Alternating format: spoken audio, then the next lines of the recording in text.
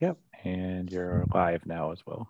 Okay, so um, meeting this meeting, this June 1st, 2021 meeting of the Board of Registrars. Um, like to call the meeting to order as we are all here and we'll do a roll call attendance. So um, Susan Audette, present. Um, Demetria Shiraz. Yeah, present. Jamie Wagner. Present. And Jacqueline Gardner. Present. Okay. Um, we can all see each other and hear each other, so that's all set. And just mentioning that this meeting is being recorded and um, uh, held, via Zoom, note, uh, pursuant to Governor Baker's orders for open meeting law meetings. And I want to also let you know that um, as in the past, Amber Martin will be taking minutes. Um, and she may be called away from the minute taking if someone comes to our counter because we open to the public today and we are only a two person office. So she's covering the counter and she's covering the minute taking. Okay.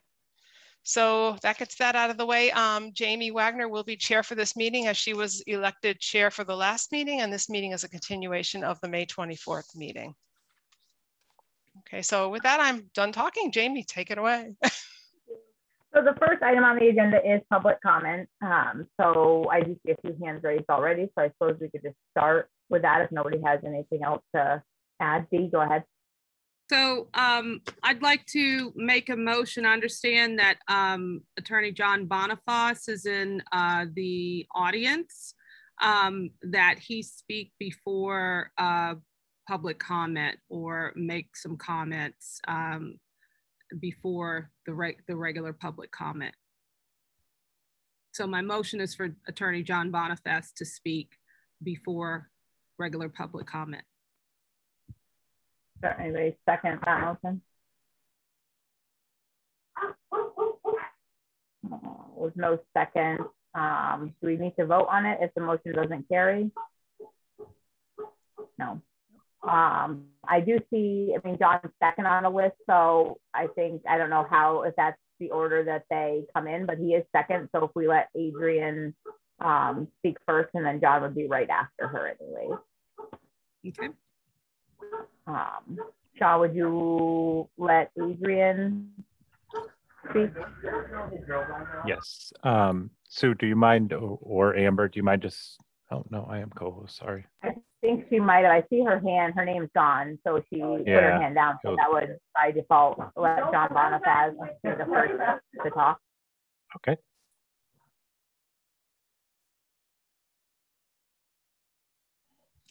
Uh, I'm waiting for Adrian to speak first. Is that right, or am I speaking? You can go ahead, John. She put her hand down, and you were the next on the list, so she re-raised her hand. So um, you're next on the list to go, anyways. So it's your turn. Okay. Uh, thank you, everyone, for having this time for public comment. Sorry, hold on one moment.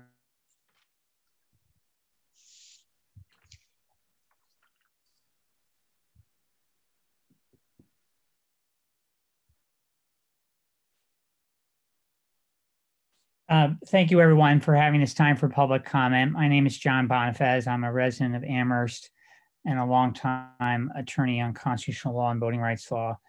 I, am wanting to speak today on public comment uh, uh, as to the matter before you with respect uh, to the case of Terry Y. Allen et al. v. Board of Registrars of the Town of Amherst. I know this is not on the agenda for today's meeting, but I have submitted a letter uh, to the Amherst Board of Registrars uh, yesterday, which discusses this case and why I am urging that the Board of Registrars enter immediately into a consent decree with the plaintiffs to be approved by the court, in which the board agrees first to certify the wrongly invalidated signatures with a voter veto petition, admits, therefore, that the voter veto petition met the 5% threshold, and establishes the date for the election on the issue specified in the voter veto petition.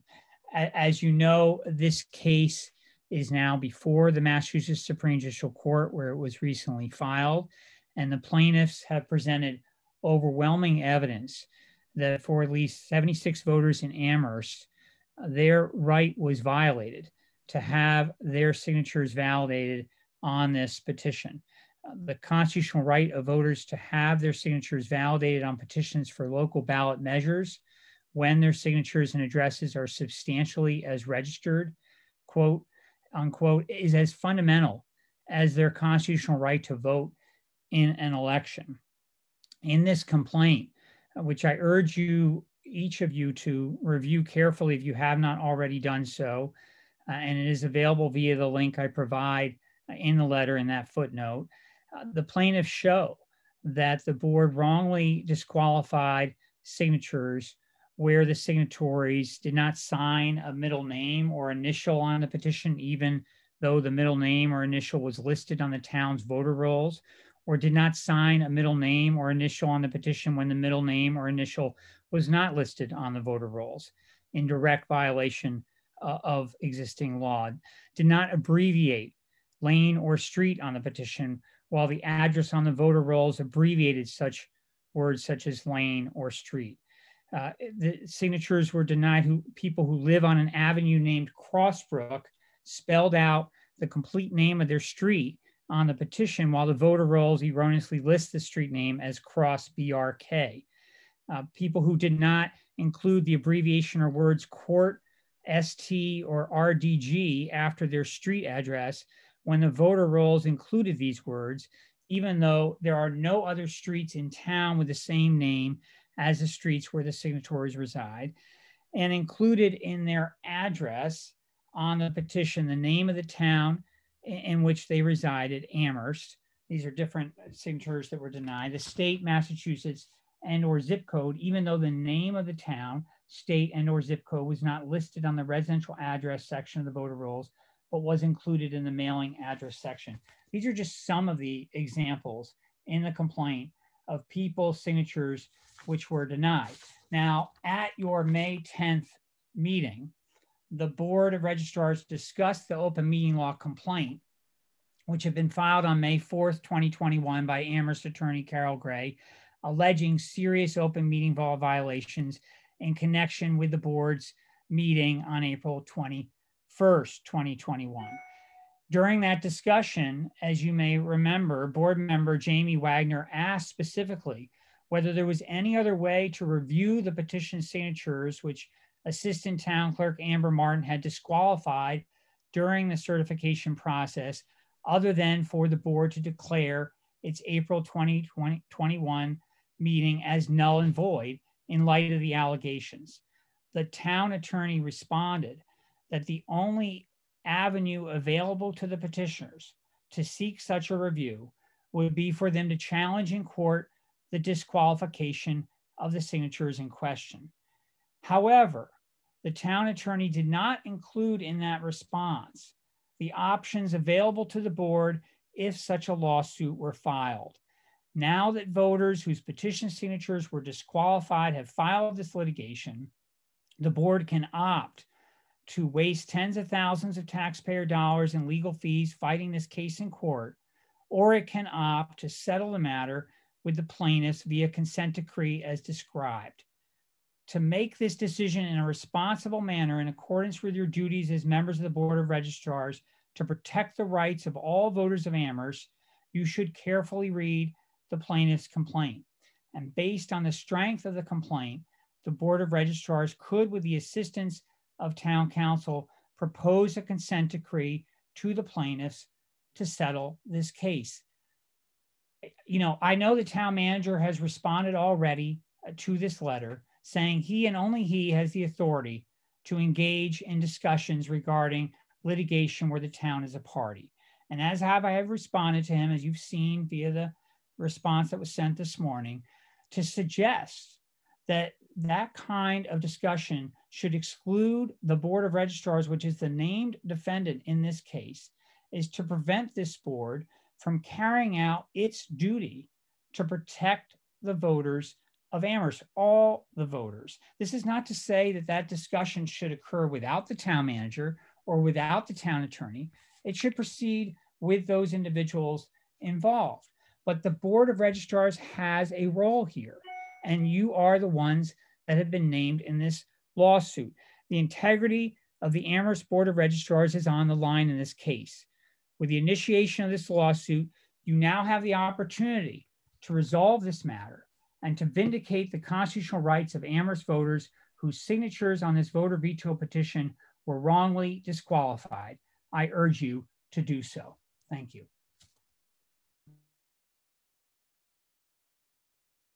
Thank you, John. Um, any any discussion from the board regarding um, what Attorney Bonifaz just? We should absolutely not be discussing.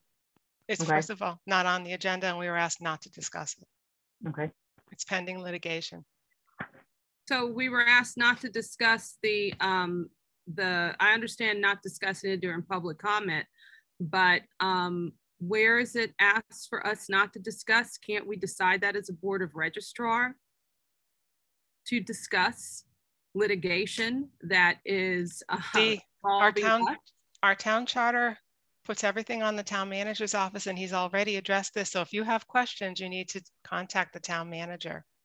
Oh, I, I will, but Mhm. um, I'm asking fellow Board of registrars, we can decide to discuss it. I'm not going to, I'm not discussing it. Well, again, I'd like to, I'll be making a motion later. 'cause I Okay, think make, need make, to make a on- motion because I'm not going to discuss We need anything. to 'cause be we- on we've been record. Well, asked it's not to. public, it's public comment right I now. so understand, I I just want understand. to, you know, make that I that, want to also make my position clear too. certainly appreciate that fellow Board of registrar. Uh, through you, Madam Chair, um, I strongly advise against any discussion of this matter. Um, this matter was, is not on the board's agenda and it was not unanticipated that it could be raised today. There was a conscious decision not to put this matter on the agenda and therefore any discussion of this matter, in my opinion, would constitute a violation of the open meeting law. Um, in addition to the fact that it remains my opinion that the Board of Registrars does not have the authority to discuss this without the express approval and authority conferred by the town manager. So I just want to make it clear, I did ask for it to be on the agenda. So just so we're being transparent. Thank you, Attorney Carbo. It was not accepted to be on the agenda. Okay. So next on the list for public comment is Sarah McKee.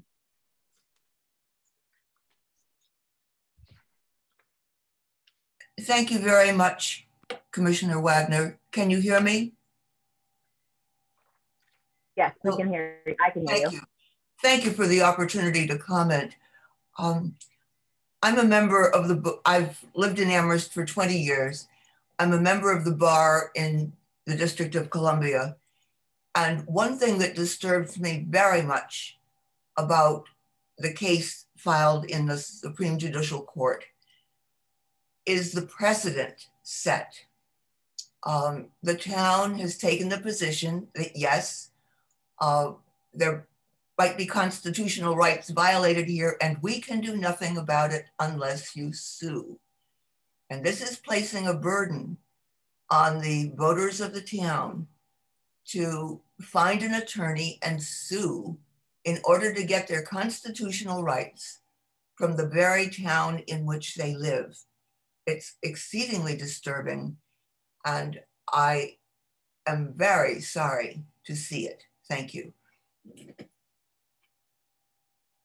Thank you, Sarah. Um, so it looks like the next comment is a, a phone in, Sean. I'm not sure if that requires a special to get them in or if it's somebody there. I don't see a name. They should be permitted to speak. Hello? Okay. Yep, we can, we can hear you. Okay, uh, my name is Vincent O'Connor. I'm calling from a friend's phone. And I would like to present to the Board of Registrars and the other town officials involved um, a matter that I think I, I would have hoped your, your counsel would have advised you of, but that the public should be aware of. First, the penalties that can be visited upon public officials um, under uh, 42 U.S. Code Section 1983, which allows public officials to be sued if they act under color of law to deprive people of their civil rights. and constitutional rights. And this is certainly what I'm seeing over the last month. This is not a game. And if it's being treated as a game by anyone, they are really uh, taking chances with them themselves. And I urge you to look that section up. Additionally, when this is a federal law, and when cases are filed against multiple individuals, as it, would be in this case, the individuals who are charged with investigating these types of activities, a federal bureau known to all of us, um, also has the possibility under 18 U.S. Code Section 242 of bringing criminal charges against the individuals involved who consciously, deliberately violate people's civil rights. Um, this is not a game, ladies and gentlemen, and it is being treated as a game by some of the parties um, as though they can act with impunity against the citizens of the town, spend their money, and um, and be completely personally harmless. This is a very foolish course of action on your part, and I urge you to cease it. Additionally, and finally, the taxpayers of this town, 10 of them at least, have the right to go to court. And if this activity on your part to deny people their civil rights is found to be blatantly beyond the scope of your duties and maliciously done, then the expenditures that are being made for the town council's office and other activities are going to come out of your pockets and not out of the taxpayers' pockets. So please be aware that this is not some kind of a game where we're using the taxpayers' monies against them because you could end up in personally liable. And I think that it, this kind of activity needs to cease now. Thank you. Thank you, Ben. Um, Next up on the list for comment is Peggy Matthews Nielsen.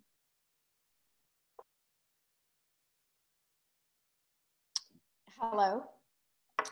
I'm Hi, Peggy, we can hear you. Okay, great. Hello, I'm Peggy Matthews Nielsen, an Amherst resident from District 5. Amherst has a resident, I'm sorry, Amherst has a reputation and a public image as a socially conscious, progressive college town. So one of the last things expected here would be the kind of voter suppression taking place in conservative parts of the country. Indeed, our new town council form of government promised us more democracy, and a provision of the new charter provides the voter veto petition as the democratic form of redress available to residents when they disagree with the town council vote on an issue. And yet, the first test of the democratic process of Amherst's new town charter failed, but it failed only because petition signatures were wrongly disqualified. In this case, residents signed the voter veto petition to bring the library project to a townwide vote, whether they support the library project or not, out of concern about what the post-COVID-19 budget impact this $37 million project would have on our three other capital projects, particularly the new school project that will be vulnerable from a tax override vote. Amherst residents gathered 1,088 signatures on the petition in only two weeks. The town clerk's office had 10 days to certify signatures. Residents were dismayed to learn that the town clerk's office reviewed 1,088 signatures in a single day and in its great haste disqualified 223 signatures, resulting in the petition being 22 signatures short. It turns out many of these signatures were wrongly disqualified. Many were the lawful signatures of longtime registered Amherst voters and 92 affidavits have since been submitted to the town to attest to this fact. The town clerk's office has acknowledged that mistakes were made. And yet, the town of Amherst has so far refused to redress this wrong, instead, requiring its residents to go to court for redress. This failure on the town's part to correct its mistakes made in undue haste is tantamount to voter suppression. In contrast, in 2019, our neighbor to the north, Greenfield, Mass, used a voter veto petition to bring their $19 million library project to a townwide vote. One of Greenfield's at-large councilors is quoted as saying, the bottom line is we want people to vote on this. We want as many people as possible to vote on this. It's the right thing. This is an example of more democracy. So my question to you is, why is less democracy acceptable in Amherst? Why would the town resist bringing this project to a townwide vote if they are confident that going forward with the project is the will of Amherst voters? And why is voter suppression in any form tolerated in our town? Thank you. Thank you, Peggy. Um, next up is Adrian.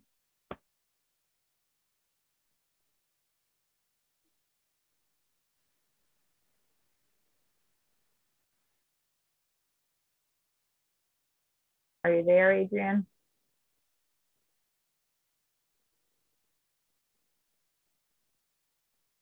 I think she's been, she or he's the next two hands. I don't know if Sean has anything there, if we should. Yeah, bypass. Adrian, um, I've, I've hit the ask to unmute button on both connections and neither one, neither one appear to be working. All right, well, why don't we skip to Sarah McKee and then we'll check back with Adrian, see if we can get that figured out. Okay.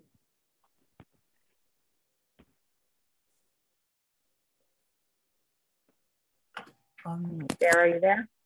I am, I am, but I've spoken already. Your hand was up again, so it must have Oh, I'm sorry. Oh, it's okay. Oh. So then I guess uh, maybe try again with Adrian, or I don't know if Adrian wants to um, try to put her hand or her put their hand down and raise again. Yeah. The other thing you can try, Adrian, is hold down the Alt key on your keyboard and press A. If you're using a uh, Windows PC. All right. Well, Sean Burke has just put um, a hand up, so why don't we skip to Sean and Okay. then try Adrian again.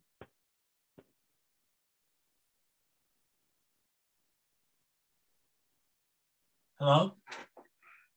Yep, we got you, Sean. Go ahead. Okay, hi, uh, Sean Burke. I'm a Amherst resident for the last uh, 37 years at this particular address and uh, with my wife Rita. And um, I went around with that uh, form to, to get signatures from our neighbors. So her, Rita's name was the first one on the list on the form. Mine was the second. And then I went around and got the rest of our neighbors, and a couple of our neighbors were also kicked off the list. And mine wasn't at the same address, the same, the same last name, same everything, uh, uh, except the first names, obviously. Um, and so I just don't understand how something like that can happen. And and the review, I, I question the review of all of these to begin with because uh, as the, as uh, the attorney earlier uh, spoke and said how uh, because of the uh, people wrote the lane out instead of LN and so forth and so on. And I don't understand. I mean, who gives people the the uh, um, authority to to make a decision like that when it, it's it's obvious that it, what was there was meant to be said. Um, and and also, I just don't. Uh, I I agree with.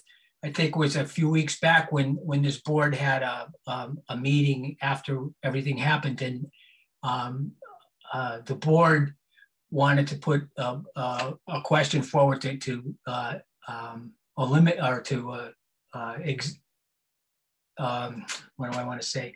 Um, redo whatever was done back then, and, and uh, two of the vote, two of the board members said they wanted to erase it. One board member said that she didn't, and the town clerk was was allowed to vote. Now I don't. I, I suppose that her gig allows her to vote sometimes, but when it when when it concerns the the uh, your uh, voting rights in the town and that particular person I don't think lives in this town and is not a town resident. So how I just I and so her vote made it a tie. So everything stayed as it was, and it staying as it was brings us to this point, and a bunch of lawyers and a whole ton of money to, to, to question somebody's right to vote and, and question the fact that the, uh, uh, the reasoning that, that was brought forth was very questionable. And, and, and I just don't understand how this can get carried on and carried on and carried on without the town who is at fault really to just come out and say, my bad, we were wrong. Let's let's be correct here and, and not put everybody through all of this. So that's my statement. Thank you very much. Thank you, Sean. Um, now, do you want to try Adrian again?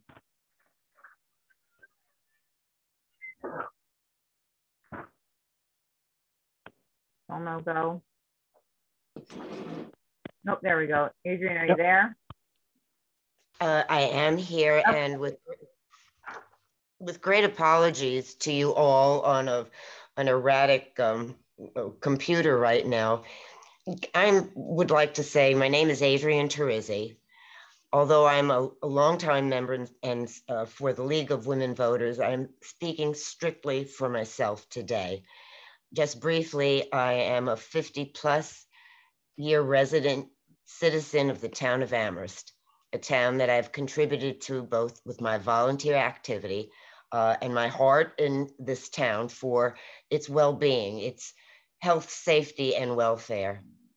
And I would like to say, without replicating everyone else who's spoken, that we are in an impasse as a town. I won't speak to the legalities or the illegalities or the mistakes that were made, but I can tell you that something is, is wrong and has to be corrected without going into um, without going into all of the issues at hand.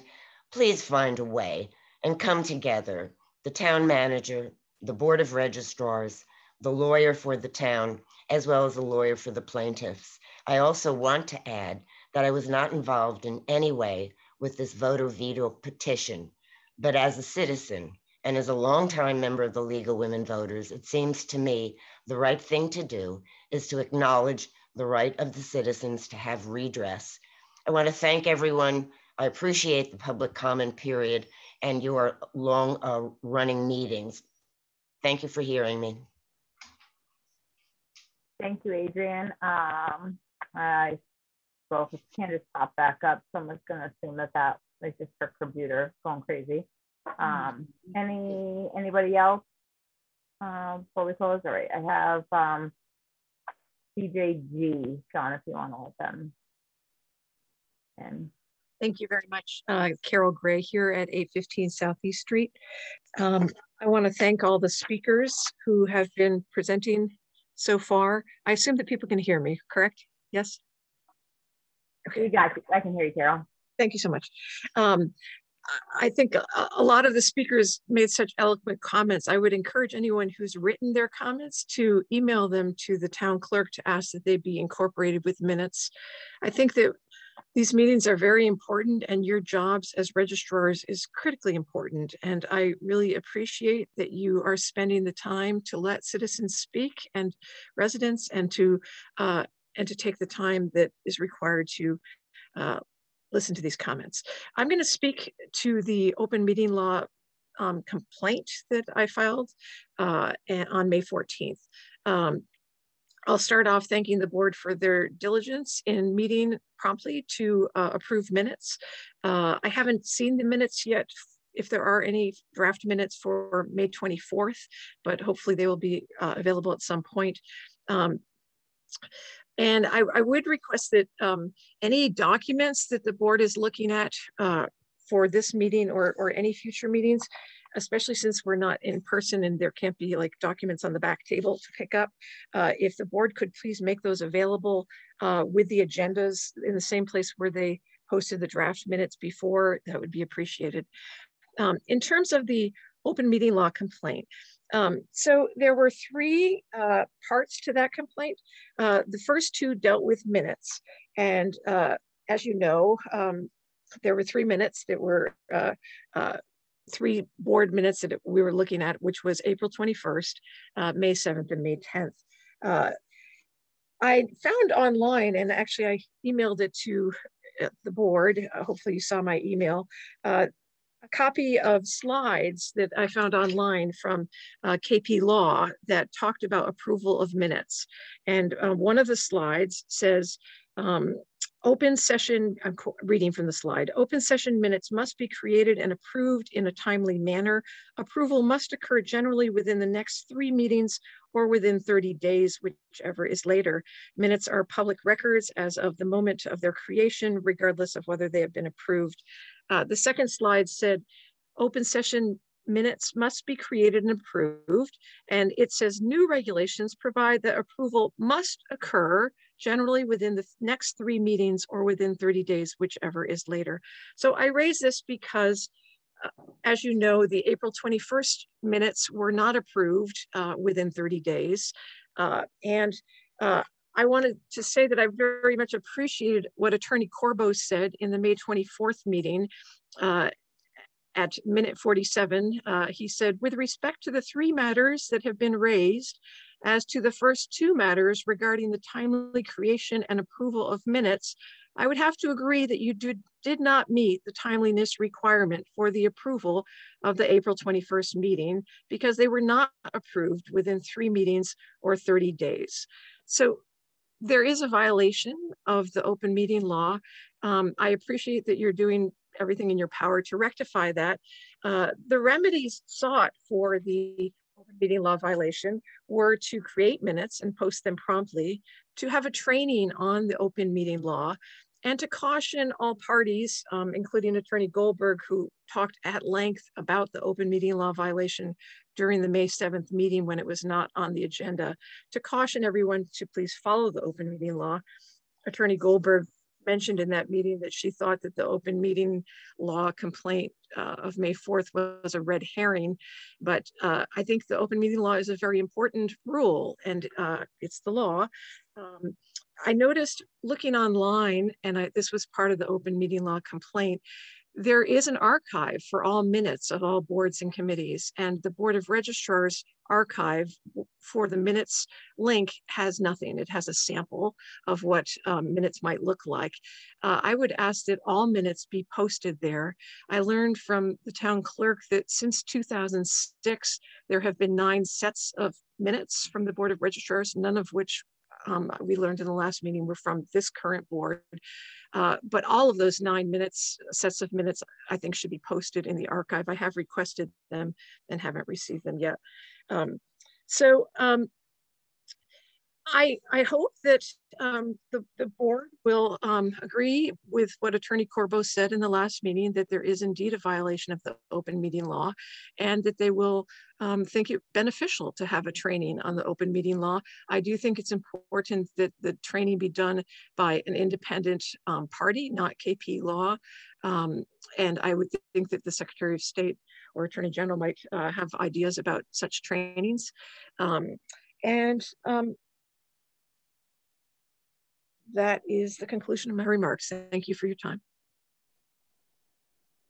Thank you, Carol. Um, I see Adrian's back up again, but I don't want to assume that there was not another comment, but I don't know uh, if you want to check, Sean, or if we just will move on from there. Adrian should be unmuted right now. Adrian, did you have more to say or is your hand just up again? No, maybe nothing. All right. Um, and Sean Burke is back up again also. So I'm not sure if there was another additional comment or if that is it. Would you like me to unmute Sean? Sure. We'll just check in with him just to make sure. Hi, actually it's Rita, but I don't know how to show my name because he's the one who signed on. Would I be able to make a comment? Yeah, that, um, that's fine. Go right ahead, Rita. Okay, so I'm Rita Burke and I live at 50 Henry Street with Sean. And I wanted to say, I can't possibly be as eloquent as so many other people have been, but um, this isn't personal. And yet somehow it feels like it. I'm sure it feels like it to you as well. And it certainly feels like it to a lot of us. Um, and as much as Attorney Corbo wants to make it, it's not about the library either. And I feel shame on him for trying to infer otherwise. It's unfortunately and unintentionally become about voter rights. Um, it's a mess. And what started as a look into how and why people's signatures were rejected because people like myself um, were baffled um, that I would not know how to write my name and my address after living at this particular one for 37 years. Um, I, I, I, can't, I keep going back to things like um, Clerk Audette. I don't know her personally. I have nothing against her, but she stated a number of times throughout these meetings, and I've watched them all, that Amber Martin, again, someone I don't know, was trained and experienced for the task that she was charged with. Yet both Miss Martin um, and the clerk have also stated um, that Miss Martin was not aware of um, the clerk having already the authority to verify signatures. Meanwhile, both also stated that the meeting to grant Miss Martin that authority was for transparency. Uh, terms like icing on the cake and redundant. That seems contradictory to me. Either Miss Martin knew and didn't need the meeting, or she didn't know and thought she needed the meeting. Um, there's just so much here that has been discussed in all of these meetings, and clearly, much of it has been a challenge not only for the public, but for the board members themselves to sort out. Doesn't that in itself indicate that not the proper procedures and process were understood or in place? I mean, the system's flawed. It wasn't intended to be, I'm sure, and it's a very big surprise to a lot of people that it is, I'm also sure. But anyone looking at the examples of the signatures that were rejected would have to understand that this was not, as the clerk stated, a case of two people can look at the same signature and see it differently. That's not what happened with my case, I'm sure. Rita K. Burke, 50 Henry Street. Um, and just how confident should the voters be when an example is given by the clerk, which, for example, the absence of a junior or senior designation on a name as a reason for disqualification when it is actually not a reason for disqualification. It's specified as not a reason for disqualification. We're not going to get through all of these issues um, and fix them all, but we can fix the entire situation. Um, and that just means like you teach your children, own up to a mistake fix it and try not to repeat it. I do urge the board to settle this. I think the consent decree sounds like a wonderful way to do it um, because otherwise this is going to go on and on. And we already have seen the camps start to split even more dramatically in our town, and it's doing everyone a grave disservice. Um, stop digging your heels in, do what's right. That's my opinion. Thank you for listening. Thank you, Rita. Um, so we're back to just Adrian. So I think with no other hands being raised, we can um, close the public comment section of our meeting. If, uh, Jenny. Sounds good. Nope, Adrian, are you there again? Jamie, uh, please, um, with great apologies, please ignore the raised and lowered hand. I've Okay. already said what I wanted to. Thank you for your patience. Thank you.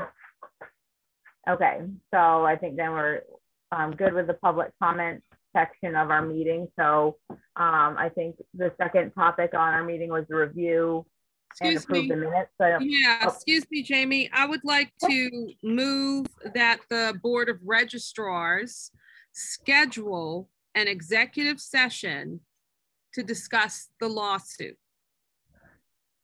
Under which section D? There's many sections that you utilize under the executive session. Which section? Legal. In other words, section E, part D, there's, there's a, you have to choose which section under the executive session list. I don't. There's a whole list. No, just- I- under legal.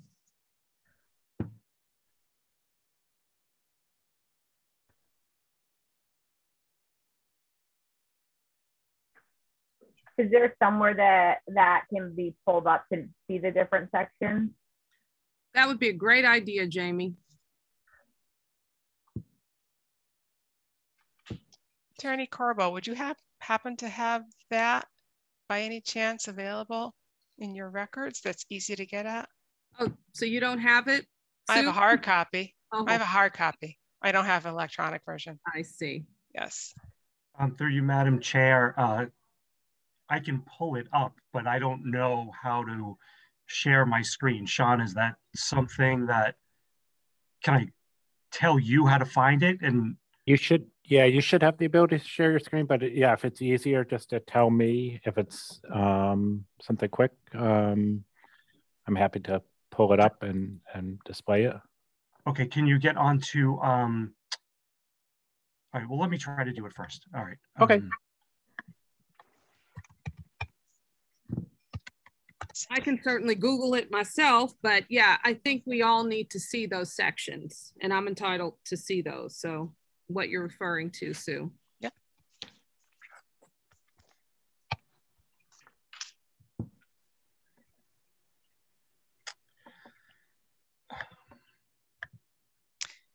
Under MGL Chapter 30A, Section 21A, I think this is, Yeah.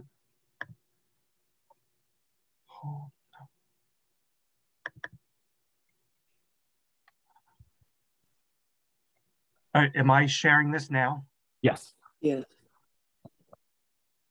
Okay, uh, through you, Madam Chair, this section, chapter, this is uh, chapter 30A, section 21 of the Massachusetts General Laws, sets forth the reasons that a board um, can enter executive session. If, the- if a board is going to enter executive session, its meeting notice must identify one of these specific reasons. Um, and then when the meeting comes, its vote must also reference one of these specific reasons. I don't think I can make the whole thing fit on a page, so I'll leave it here. And um, let me know when you're ready to move on. So I believe I can restate my motion.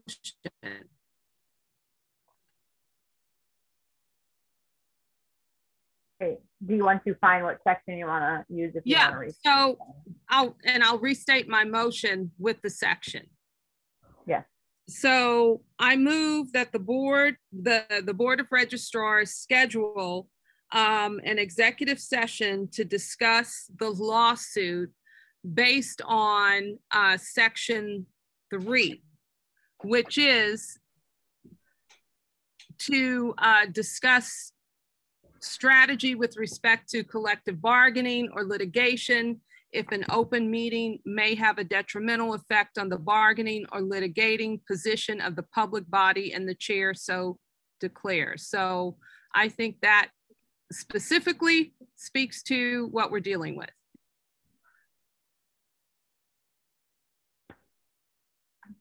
I would second the motion. Um, so I think we need to vote on that. So um, let's do a roll call vote. I guess Sue Audette. You vote. Um, and yes abstain. no? Abstain. All right, Jacqueline Gardner, you vote yes or no? No, until we talk to the uh, town attorney, uh, town manager. Would that, would this meeting be that you're doing, would this include, would that kind of include the town manager within what you're trying to do in this?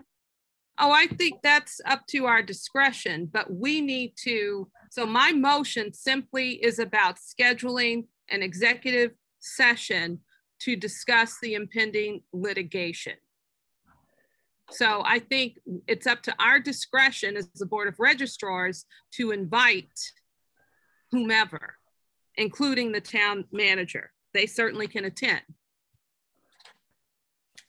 All right. So Jackie voted no. Dee Shabazz, your vote? I, I am in favor. Um, and Jamie Wagner votes yes. Vote to schedule a meeting to discuss this. All right, so that's two yeses and one no. So I guess we should talk about scheduling a meeting.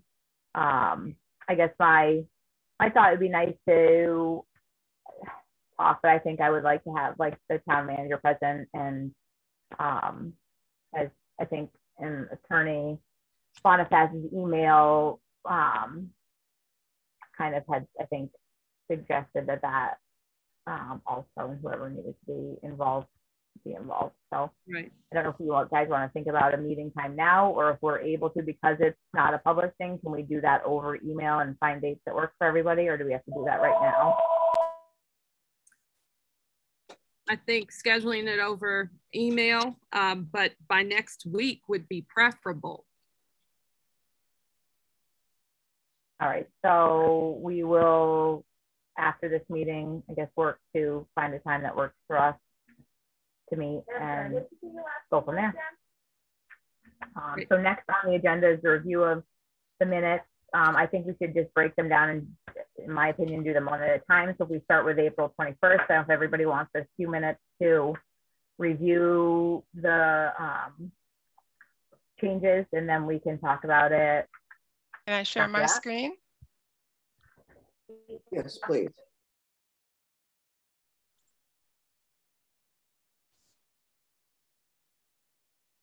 Let's see who can share. Who can start sharing? Okay, sharing options.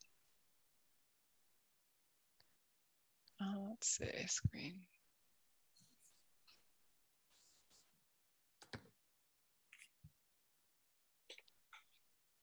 Make it bigger.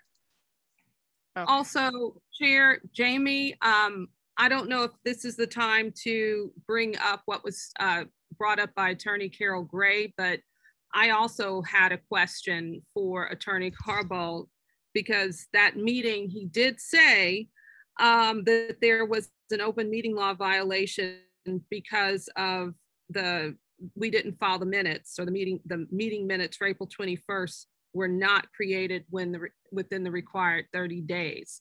And he answered that in an affirmative. So um, I think that needs to uh, be discussed at some point.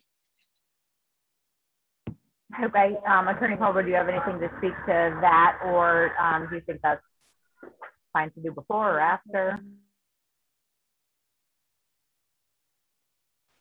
Uh, through you, Madam Chair, um, we do have a an item on the agenda to specifically talk about the response to the open meeting law complaint.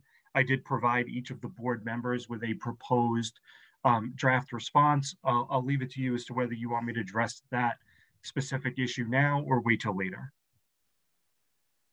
Okay, I think we can wait till later. I think that is uh, a good time for that. So once everybody's done reviewing these minutes and the changes, if anybody has any comment, just let me know. So these are the, the clerk's changes. I'll put up um, these changes as well. Let me see if I can, let me see if I can do that.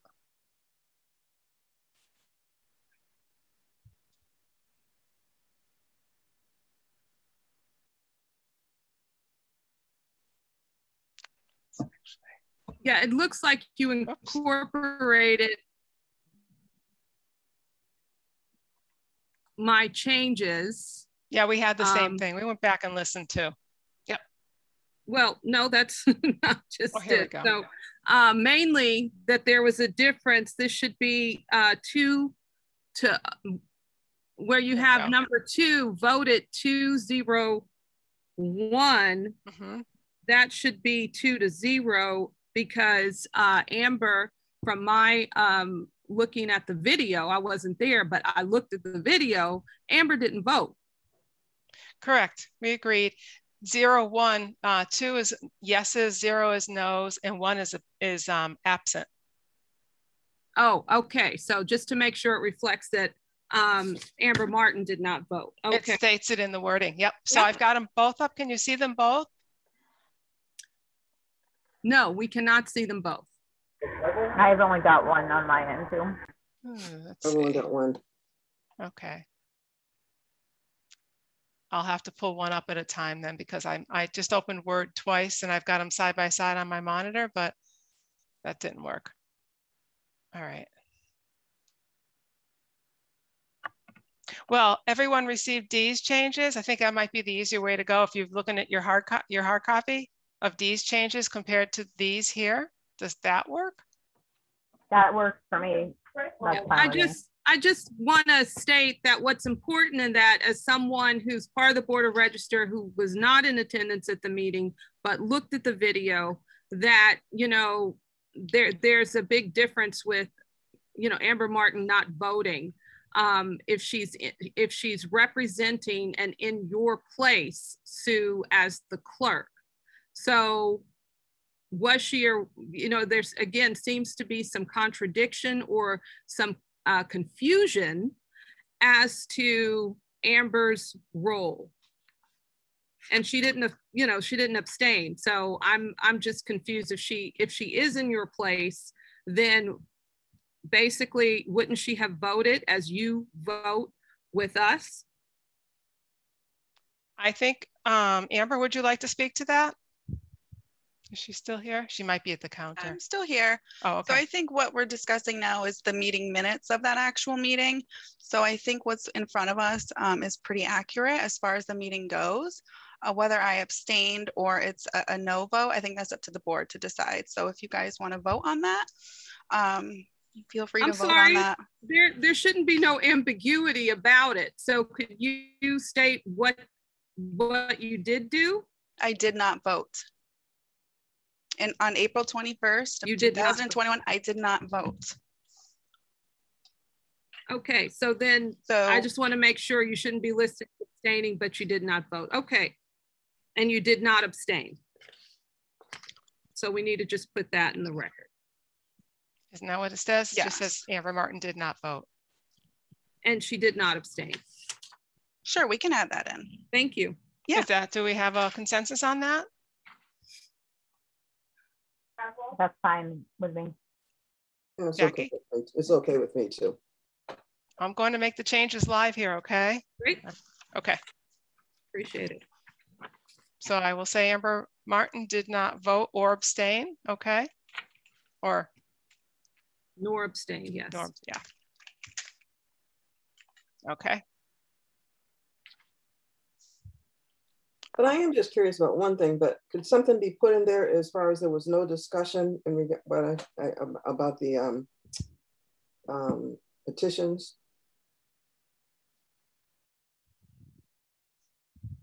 Or we can just let that go? I mean, the purpose of the meeting, Yeah, okay, that's sufficient, okay. this is to reflect what the purpose of the Okay. meeting was and what was said at that meeting. So then Sue, um, under number two, under voted, then, um, it should read accurately two to zero. Um, so it does not reflect one as an abstention. That's right, you weren't there. You weren't even there. Okay. I'm thinking of it as, as absent, not abstention, absent. Yeah, Okay, again, okay. it's confusing. Yep, Thank yep.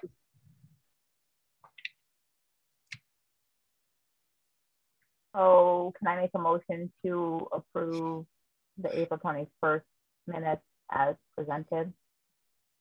Um, actually, it's a, actually, uh, sorry to interrupt, it's actually as amended. As Yes, we- amended. as amended. So I make a motion to approve the minutes from April twenty-first um, as amended. I second, All right, so All we'll just take a vote. Um, so Jacqueline Gardner, how do you vote? Oh, in favor of that one. Sue Audette, Aye. uh, Dee Shabazz, yes, aye. and Jamie Wagner votes yes. So we will um, approve the minutes from the April 21st meeting as amended, and they will be uh, on file with the town clerk's office. Yep. Okay, those those are And done. We will discuss, I guess, the further open meeting law violation regarding these minutes later. So I will set those aside for now. And if you want to review the May 7th minutes um, quickly before while Sue's getting them up on the screen, and then we will discuss those. Do you see them? Yes, and this is the one you have up to, you have the chair, okay, the minutes have been um, edited these- by your Our office. office. Yep. After listening to the video.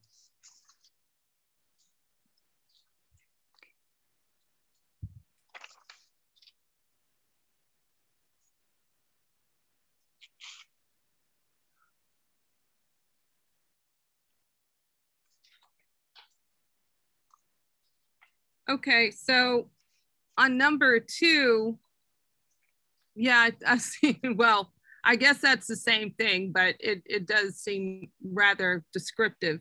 Sue Audette nominated herself as chair, uh, and then I nominated myself as chair, but, um, okay. So there should be,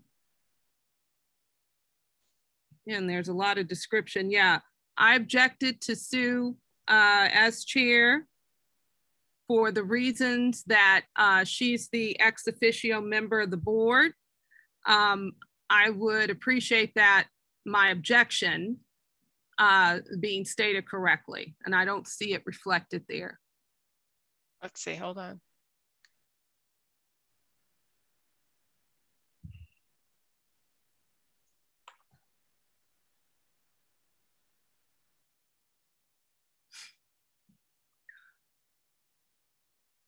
Okay, so uh, right after here, Yeah, so after it's an under two and then motion, there was discussion. And I sent in my notes, I objected to Sue Audette being chair since she was the ex officio member of the board. Mhm. And then Attorney Goldberg responded to that objection, saying that the election was just for that day and that at Monday's meeting, the group would need to take up the issue. So I believe the discussion that you have on, um, yeah, so I, here we go. Right after the motion, so here. So do uh, Jamie and Jackie agree with that comment? Should we add that in? I'm okay with that being added in. Okay. so should I read it again? No, I have it in front of me. I could, should just copy and paste it. Hold on.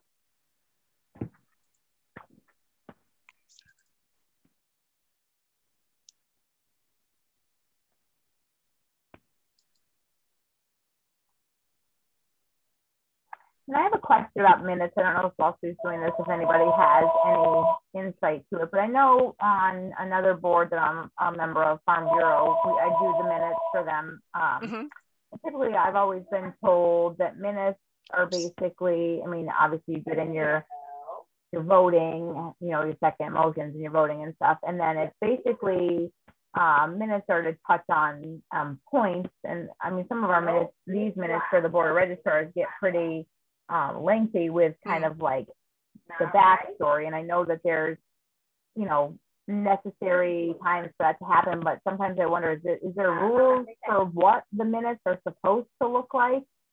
Requirements that they need to meet, minimum, maximum, like, I mean, it just seems like sometimes we could get into a day's worth of minutes um, for, you know, I, and again, just looking at some of the further down these minutes where we have, you know, everybody that spoke in the public comment, there's a lot of um, their store, you know, what they were talking about in there. And I know that for certain situations, that's important to capture that stuff. But is there a, a minimum that we're set that we need to address within the minutes? That is actually in the open meeting law guide, um, what's to be covered. It doesn't need to be a transcript, but um, I don't have the open meeting law guide in front of me. Hold on. And it isn't a transcript. I think if we looked at the transcript for the video, it'd be it's almost 80 to 90 pages long. So it's actually capturing the main points. I think the problem becomes when you have issues as important as this, um, that people want their um, their objections captured. And so when I corrected the minutes, that is that is was my intent. You know, whether it's objections or in the affirmative, people want their their ideas captured, particularly having to do with this issue. Madam Chair, through, through you, um, with respect to the detail level of detail that needs to be in the minutes, um, it needs to be enough that a reasonable person who was not at the meeting can look at the minutes and have an understanding of what went on.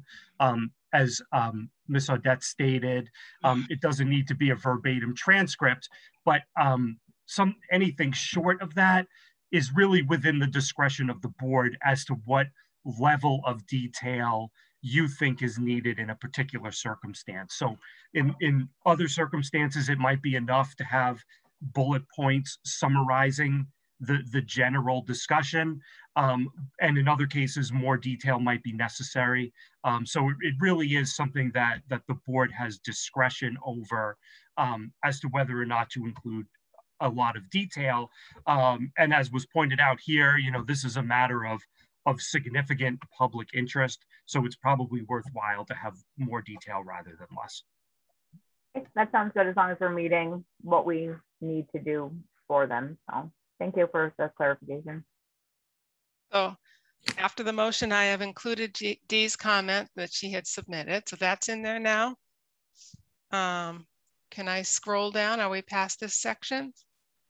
Um, oh, how about I go right? I'll stop right here. And a lot of what we did too was just house cleaning, keeping things consistent with, you know, titles and order of names and things like that. Okay, so are we in the public comment section? Yes. Okay. So yeah, my, my corrections attempted to sum up uh, what people were uh, commenting on.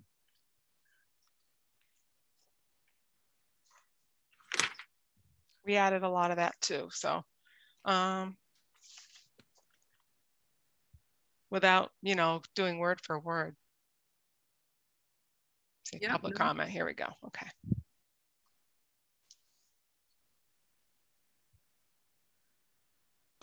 Okay, so I would submit for Jeffrey Lee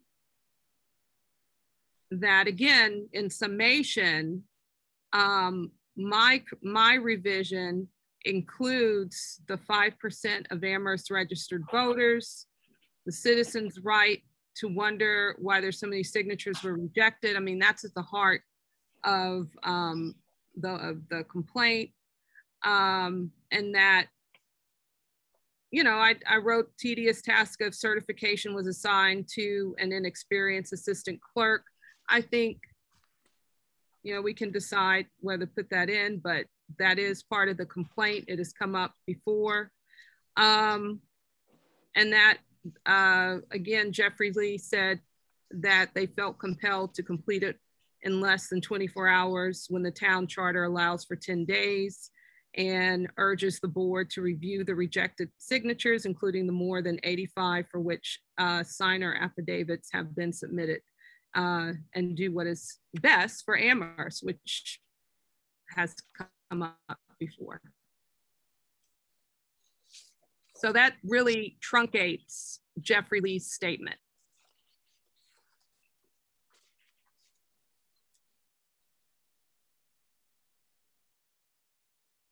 And um, I'm fine with adding that in if we're gonna do it with other ones also.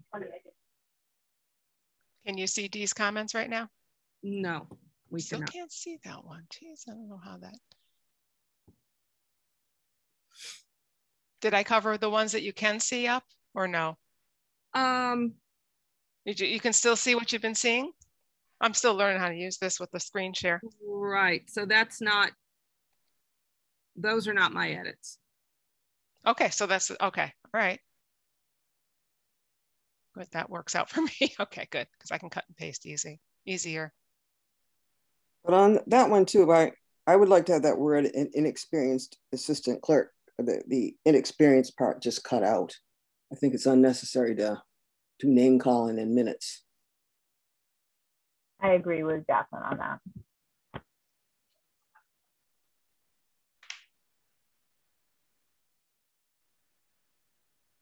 Especially who is he to judge, you know? well, it was his statement, not ours. I understand, but again, it, I don't think it should be in there, period. I just added it to the uh, other one. Can everyone see that? Does come up. Yep. Okay. Okay, so for Jasna uh, Reggie, there, um, again, it doesn't reflect what the heart of what they were saying. So um, said the petition drive was conducted uh, so, pain take, so painstakingly during the pandemic and so many valid signatures were rejected. Signers were shocked because they were longtime residents and registered voters and that they went to the additional trouble to fill out affidavits and go and get them notarized. Um, very disturbed that one in five had their names thrown out. I mean, what it speaks to as a record is um, the the the some of the con, uh, the themes that if we were to look at this, you know, in some type of social and behavioral analysis, that there are themes that recur. Um, and looking at these themes that recur, that they might have a point.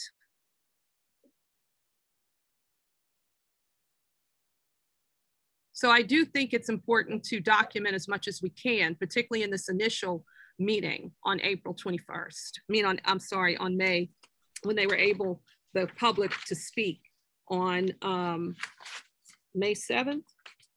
Yeah, May 7th.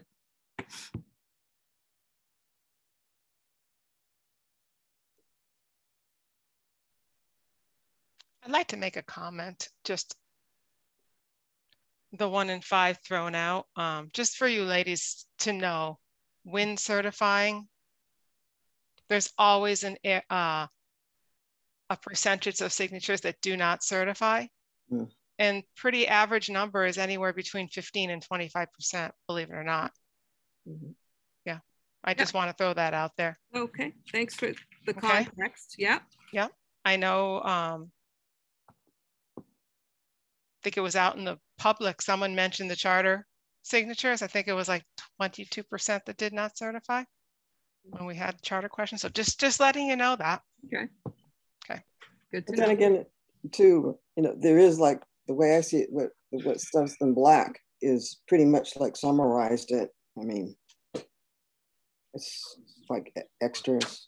Well, anyway, just leave it there.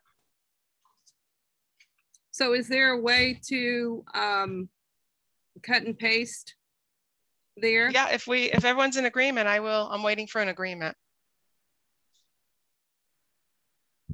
And I'm fine with, I mean, I think if we've done it for one person where it's kind of like expanded on what their context of their speech, you know, go through and um, just do it with everybody that we have on there. Um, so we don't have any issues with why was Jeffrey Lee's statement more important than Jasna's statement. And but I'm for one, I mean, I agree that I feel like the summary is just more to the point and it kind of captures it all, but um, but people have the option also of reviewing, sorry, that they have the option to review the, the video too online if they wanted more details on it.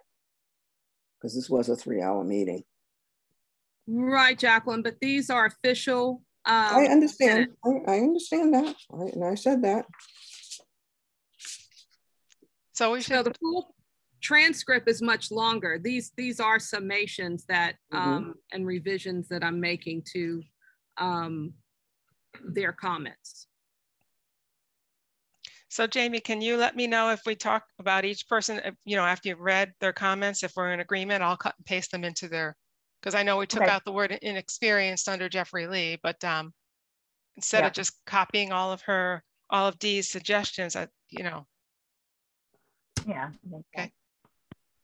Uh, now if we have Jasna updated, we go to Maria Kapicki.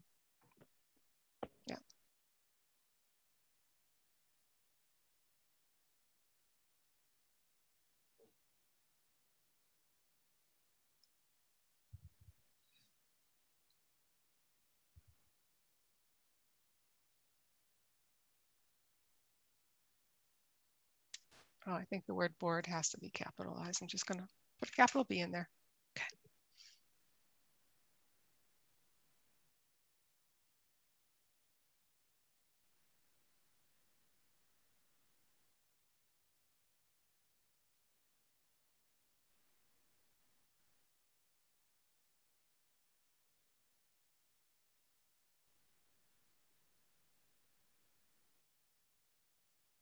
So I think again, going along with the other um, amendments that you should take um, these suggestions. I don't see anything in there. Otherwise, voting, voting rolls should be R O L L S. Just FYI.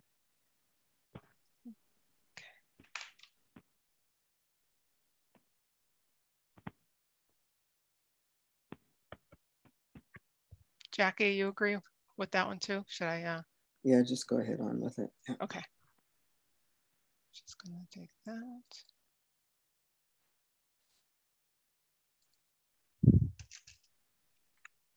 And.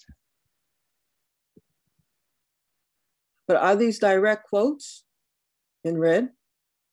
Pretty much. Or are they summaries? It is a, because, it's a summary because again, this is like six on hand hand and half a dozen on the other. Do you want the short summary or you want the longer summary? Well, some of the summaries aren't really accurate in reflecting um, to me but who their, their main points. But who are we to judge that? We were just putting down the facts. No, not all of it is is again factual. So that's why I took the time. That's what I'm saying. To, to summarize it. Yeah because nothing nothing is ever going to be shall we say that factual.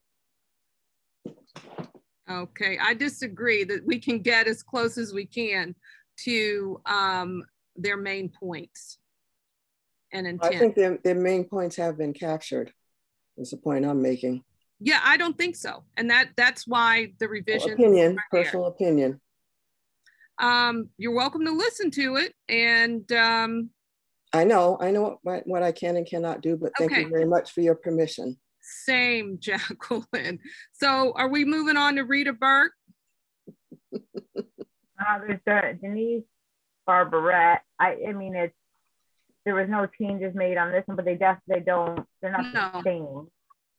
Um, I mean, I'm happy with leaving it the way that it is presented in front of us at, on the screen that Sue's sharing. They're, they're the same but different, but they're still different in how things are stated. So I think I'm fine with leaving that if Jacqueline is in um, and moving on to Rita Burke. But it's definitely different from what I have hard copy versus what's on the screen.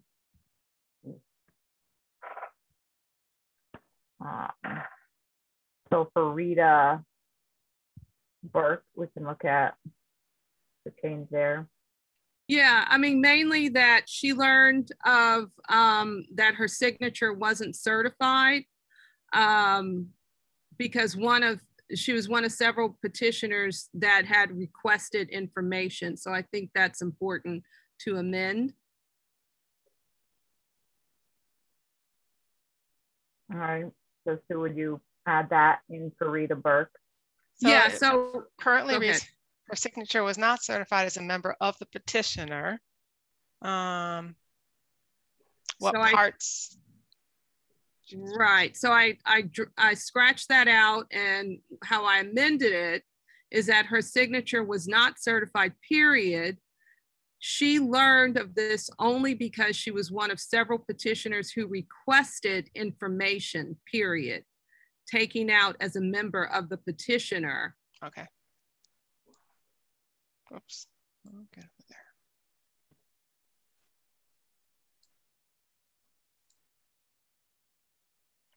Okay.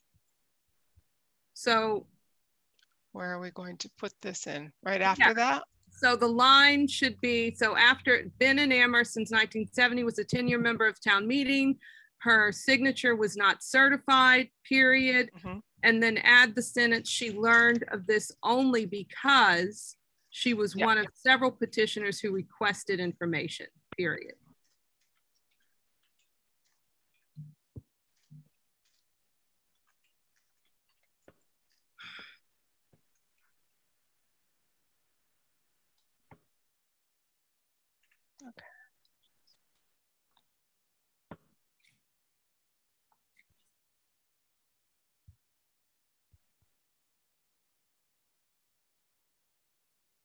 And then um, let's see, where are we?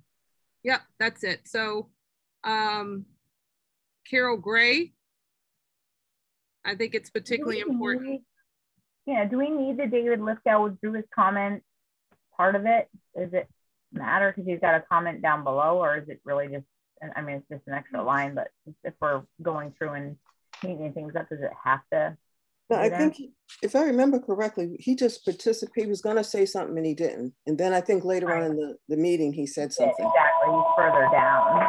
So I don't know if that needs to actually be there. Not really. At least in my opinion, it doesn't. You want to take it out? Yeah, I would just. It's gone. okay.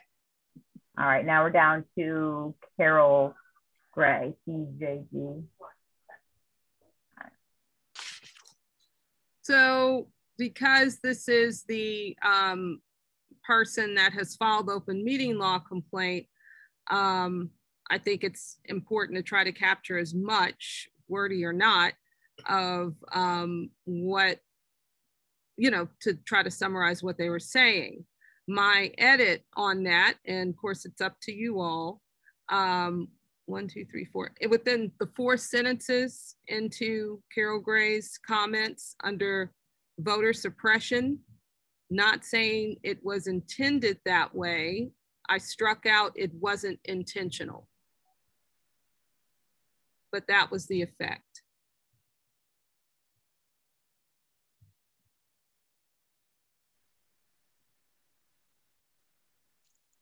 And then uh, let's see, six lines in, spoke to the Secretary of State's office and asked if missing an apartment was grounds for disqualification, period. And then she continued, they said no. Usually that's not the case if the signature matches what's on the voter registration forms and the address is clear. It doesn't matter that they're missing the apartment number and yet more than 24 were rejected for missing apartment numbers.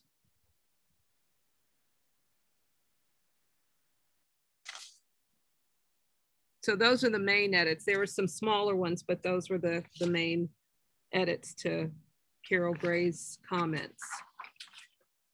So when when she made her comments, I'm trying obviously there's been a lot of comments since that, and I have didn't go back and listen. But did she say she believed it wasn't intentional, or did she say it wasn't intended that way? So I think if we're trying to take people's words, what did she say. Yeah, she said it was not intended that way.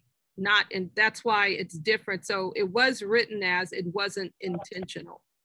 Okay. But if she no, no. had said it wasn't intended that way, then I would say that to be the way it's presented.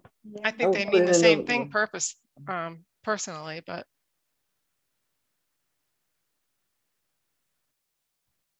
either way with me is fine because they mean the same thing. Doesn't matter to me either. Just writing style. I exactly. You know, I went back and listened to all the videos, and that's how that's what I came up with. That's what I heard. Um, okay. It was. Either way, it's fine. Yeah, either way, it's fine. All right. So I say then just leave that to okay. the way you have it and then do you want to add in um, these other suggestions um, Yeah, I'm trying to figure out where that's going.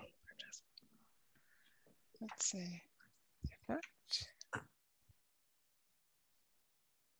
right, um, let's see here.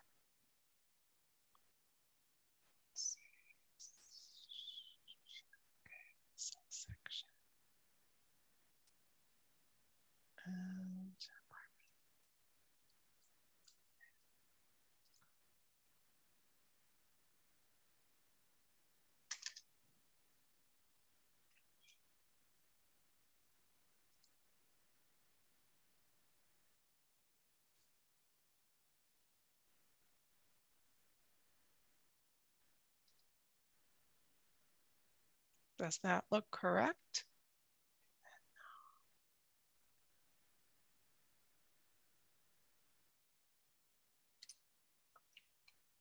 Here we go.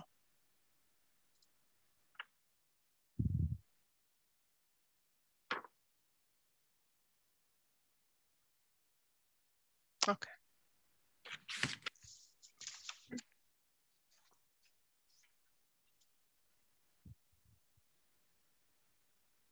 Does that look right, All right. ladies? Yeah, it's fine. I fine. think it looks good. So on to Daniel Denton Thompson. Um, So I do feel his comments were important. Um, he's making, um, of course, uh, a statement about why this, why this issue um, should rise to the level of uh, importance concerning voting rights. So lived, so it, it reads, lived in Amherst all his life, signed it with his original signature. His signature was rejected. Um, and it shouldn't read due to the fact that he didn't live at the address. Oh, it doesn't say that, Dee. Look at the what's on the screen. Where? Oh, okay, that was taken It's- out. Okay. Yeah, it- yeah. In the hard copy, that's where it is. Okay, so here, you know, whether we want to include my uh, revisions as as I wrote them, but um, I surmised he found it weird or strange um, that uh, he didn't live at this address where he's lived for almost 14 years with his with his mother, um, who of course was a SNCC and voting rights activist. Um, he says mom was a, was surprised too because she signed the same petition and her signature wasn't rejected. Um, and that she was a freedom rider. She fought for voting rights. So um, again, those are my revisions because that was the main part of uh, why he spoke up, I believe.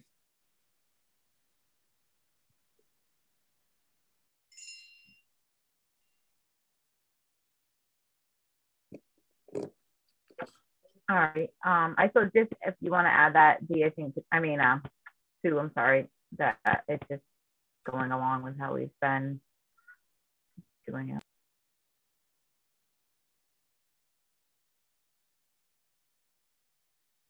Well, let's see. Got it's a little redundant, so um, figure out how to merge them. Let's see. So let's see.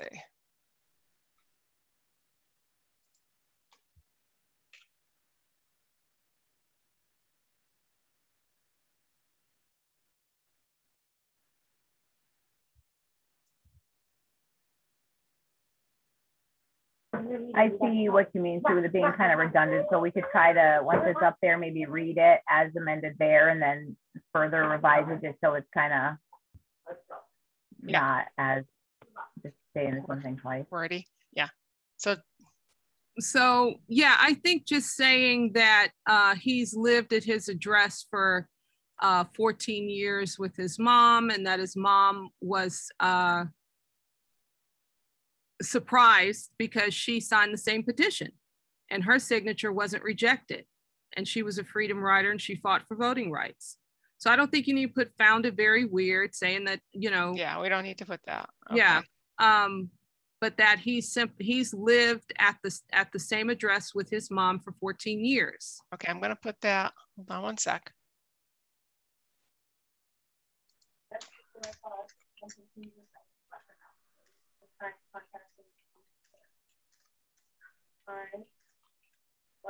So not all is live.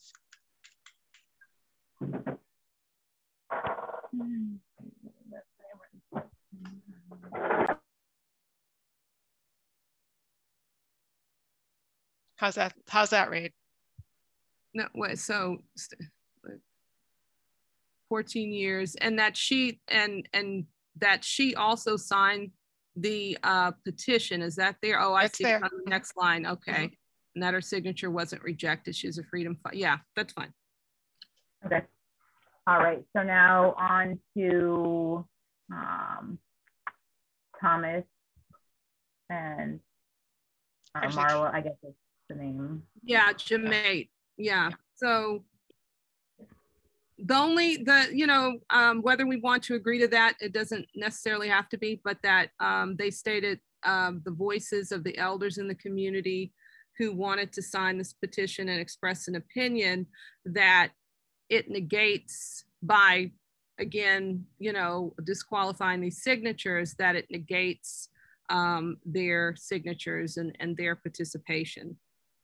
What's the difference between that and, and as far as um, and the mom signing the petition? So if you're going to do it for one, you do it for the other one. Sure. Rights. If you're going to do it that way, don't half step Sure. and cherry pick.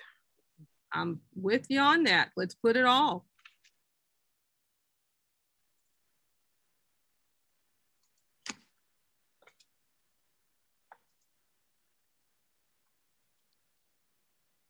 Is that one all set? So we're, we're good with that, um, as it's presented there, we'll move to. Adrian. Okay, Adrian.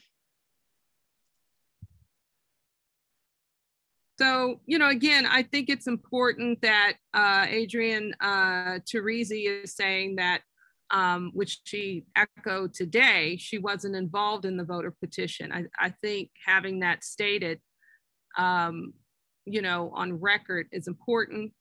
Um, and then for her, it's about voters' rights, the rights of the citizen to petition their government. The board is a local independent body. Um, and then she's commenting the board this morning should engage and review the and review the process as well as examine the original petition signatures, signed affidavits this morning, or a work of democracy at its best. So I don't know if she said believes the signatures on the petition should be compared to those now. I, I'd have to look again at that, but I think that sums up where she what she said within that comment.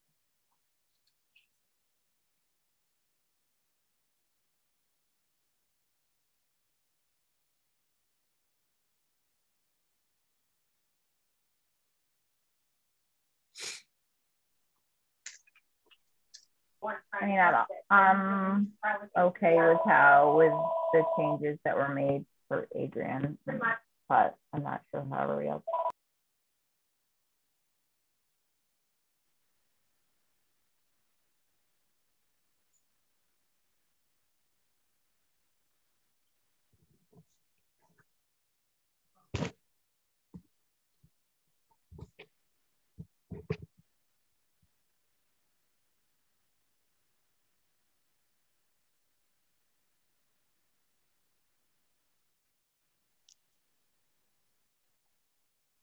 So this change here, I'm seeing the board is a local independent body, but that's not what we heard. We heard that um, the League of Women Voters, which is a local independent body. So that's two separate, that's two different statements.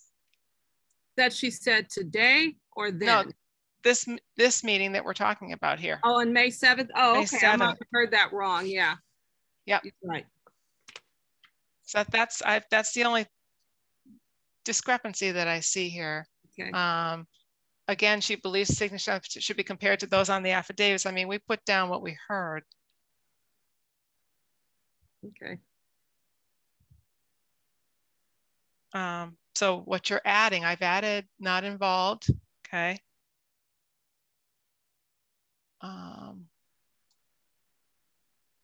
and, oops, where's my mouse? Where'd my mouse go? I'm kind of putting yours in between the other ones. Um, for her, it's all about voters' rights.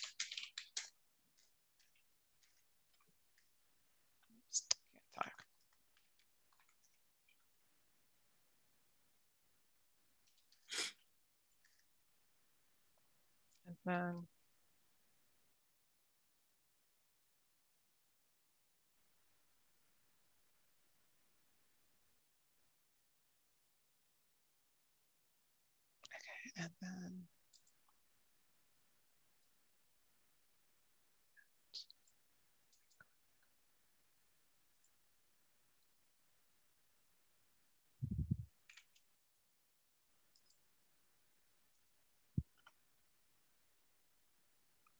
how does that look?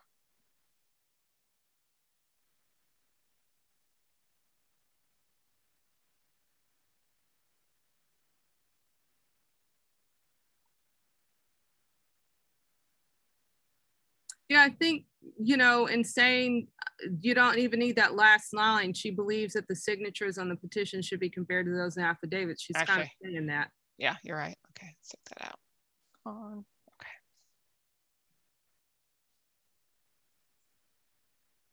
All right, so if that looks good, we should go down to, um, Hilda hadn't, I don't think, did you make any changes for Hilda? No, just Lithgow. Yep, so down to David Lithgow.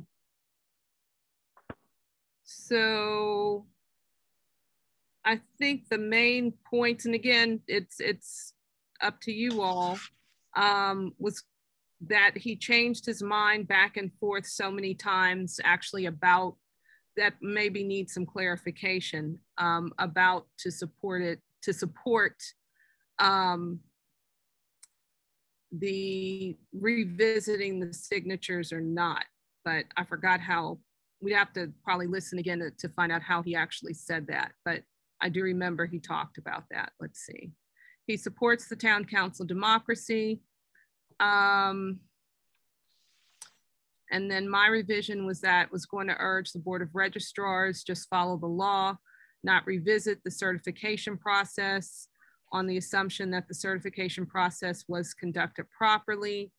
Uh, is listen to all of the people who zoomed in to speak to their affidavits and to testify the fact that the that they voted for the petition and that they signed the petition um, and believes that they have the right to that opinion and that should be honored. Found their testimony quite persuasive, has changed his mind and urges the board to revisit it. I mean, mainly that he has, he was going to speak, you know, on behalf of not supporting revisiting the signatures, but, but then he changed his mind and he urges the board to revisit it. So let's see, I guess that kind of speaks to that.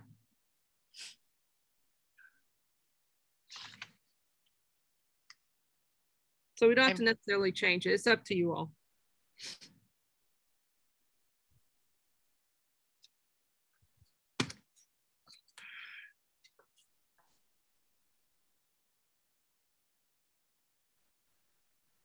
Oh, I think it's our last one. We've added everything else for everybody else that I'm fine with it going in there. But again, that's just my Okay. opinion.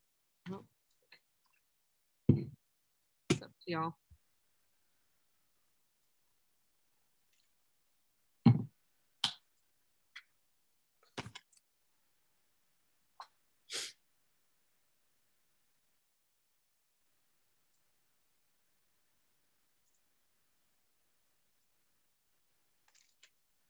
Okay. So here's where I added a lot. Um, you ladies probably haven't had a chance to read this yet. So under the discussion, point number four, from the very first time you saw the minutes.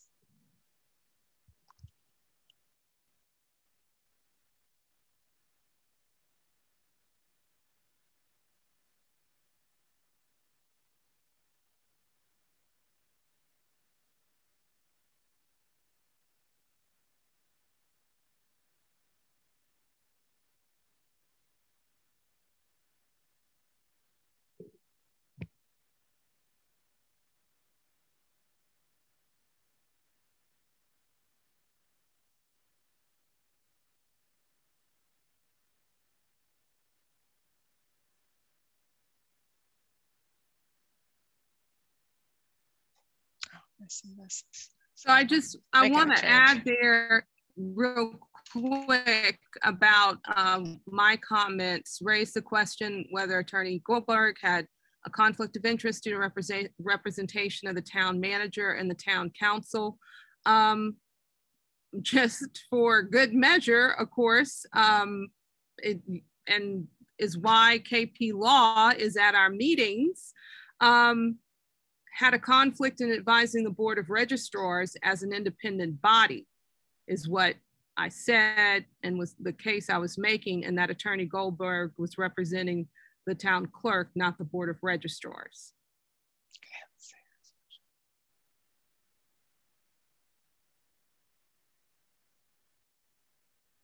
So add as an independent body after the first sentence? Would that do it? Yes, Attorney Goldberg had uh, a conflict in advising the Board of Registrars as an independent body, and that uh, Goldberg was representing the town clerk, not the Board of Registrars. Hold on.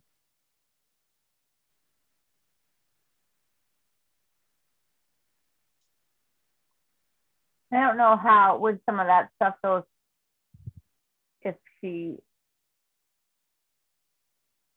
I mean, is acting for us and not necessarily just the town clerk, if we just need. if I that should know, but not. it's what it's what I I said, and it's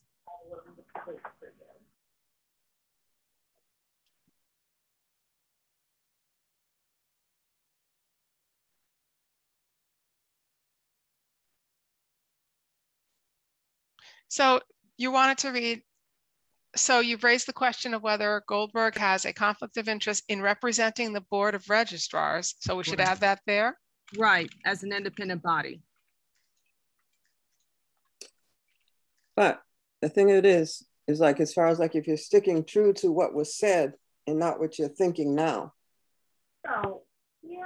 Uh, nope, I believe Okay, that's, that's what what I just want to make sure, because again, Yeah. it's, you, you know, Uh-huh. people have a revisionist view of what they say sometimes. And I Oh, just I'm- to make sure that this is not a revisionist view. Yes, very familiar with revisionism. Okay, take a look at that, see if that's correct now.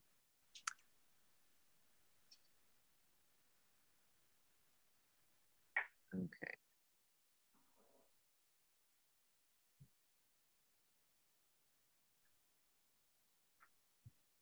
Okay, so again, due to her representation, you're you're welcome to keep town manager and town council, but uh, also town clerk within the Okay, there. let's add that.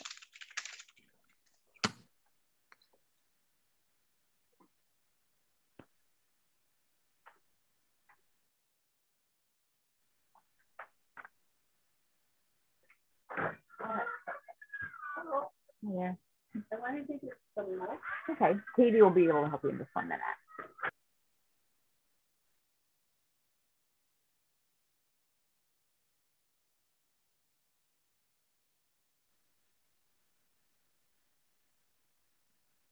So the only thing I would add to Attorney Goldberg's um, comments in summation is, and just because it was such a memorable line, um, Attorney Goldberg said the open meeting law issue is a red herring.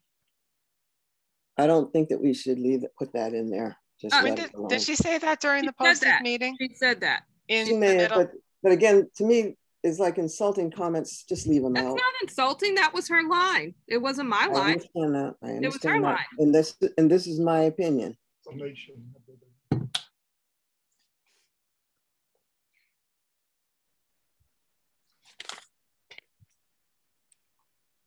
So it was meant, Not my opinion, I just don't think, I don't. it was being meant to distract from whatever, because the red herring was, was I not. know, I know, I know what it means. Thank you very much. Oh, no, I was, I was posing a revision, Jackie. Okay, all right. Okay, um.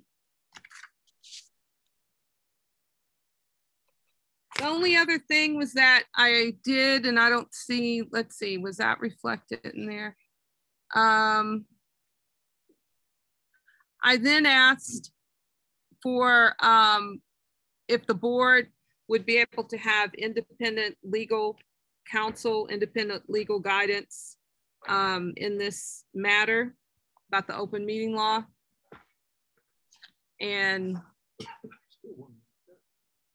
yeah, I'm still, you know, it's, it's, uh, that hasn't been answered. Sue, you actually replied that you'd look into that. And I didn't, correct. And And then I replied that I did not. And I'll tell you, yeah. We Um, still don't have an answer on that. That's something you're more than welcome to pose to the town manager, who is your appointing authority. You have every right, Absolutely. abs- uh, every right to ask him on your own. You don't need me to do that. So, Absolutely. yeah. So. I just want it reflected.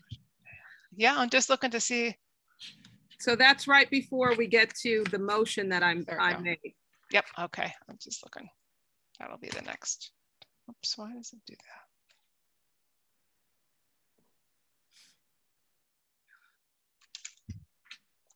I can copy and paste this one. Let me see.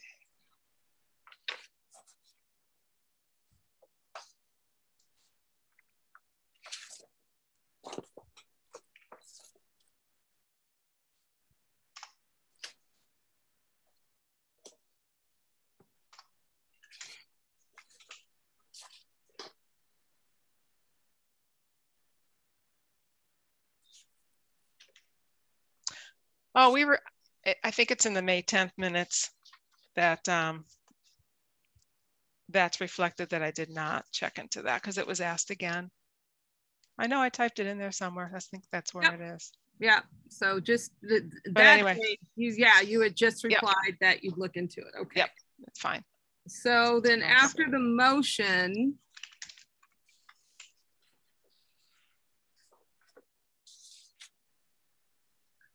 Let's see.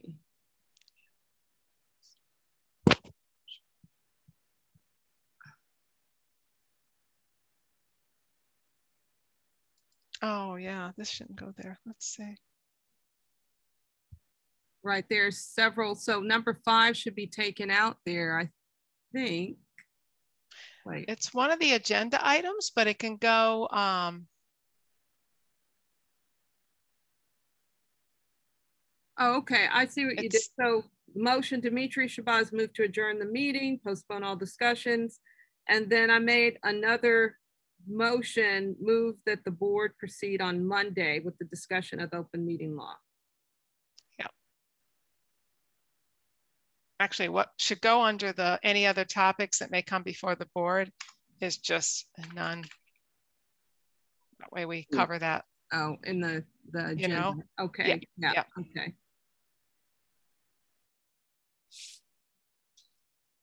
So then under that, um, we didn't adjourn and I moved that the board proceed on Monday with the discuss, discussion of the open meeting law. Sue agreed that the motion on the table was for everybody postpone this meeting today to a later date and time to be specified or specific. So that's before Sue Audette moved and seconded by Jamie Wagner. So I'd made another motion.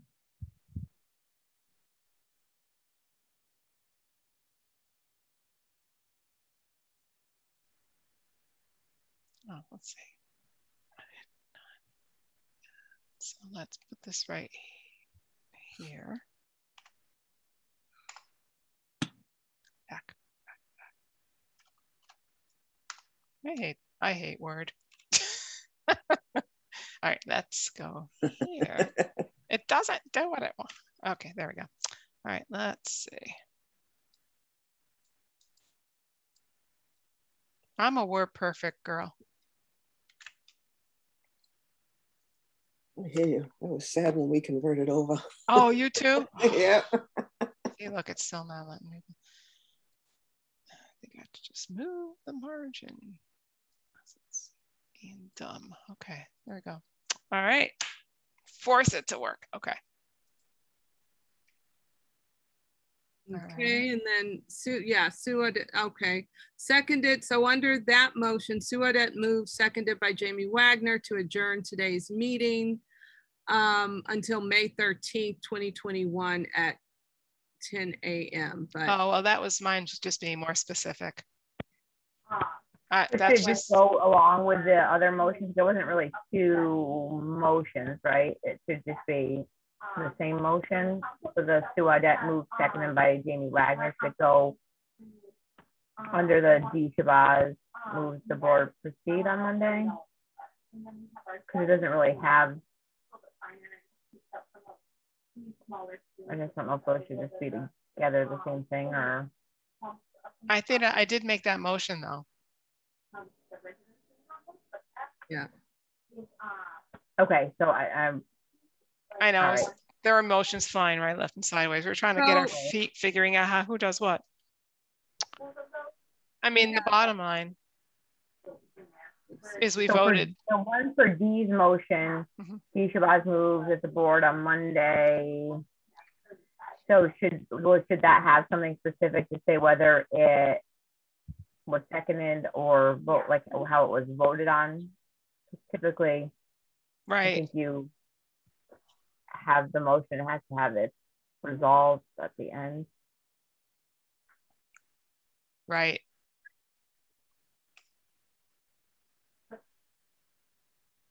Yeah, That, that works. Motion failed. Yeah.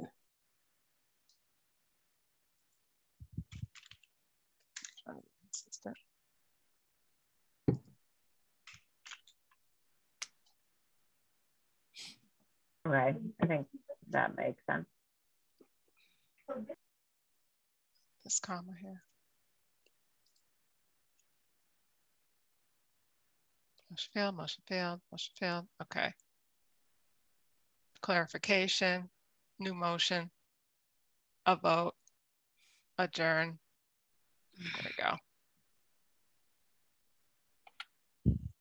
So the last part there, the only, the vote that took place unanimously in favor of the motion adjourned at 12 PM, May 7th. Mhm. Um, yeah, I don't- I don't know, let's see. Oh, okay, I see, yep. Yep, yep, Yeah, it was confusing before. Yeah. Because there were, yeah. All right. So I move to um, accept the minutes and approve them as amended. Is I second. All right, so Jacqueline Gardner, Yeah, I'm in favor of it. We can accept them. Sue Audette, In favor. Dee Shabazz, yes, in favor. and Jamie Wagner, yes. So these minutes are now approved and we place on file at the town clerk's office. Um, so we want to take time to review the May 10th minutes while Sue um, finishes up what she's doing with these and saves them and gets them.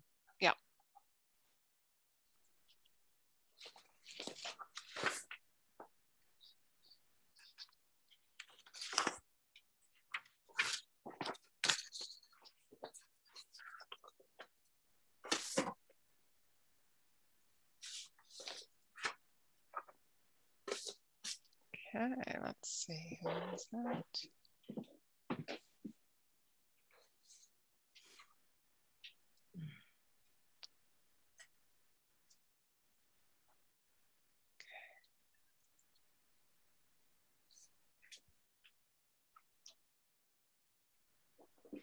Does everybody see the May 10th? Mm-hmm. Okay. Okay.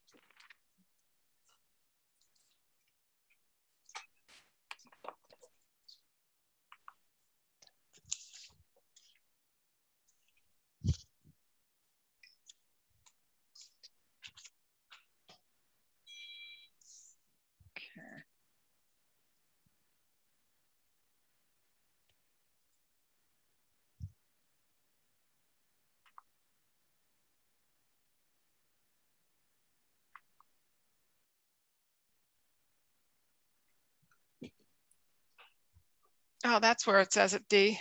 Uh-huh, I see it.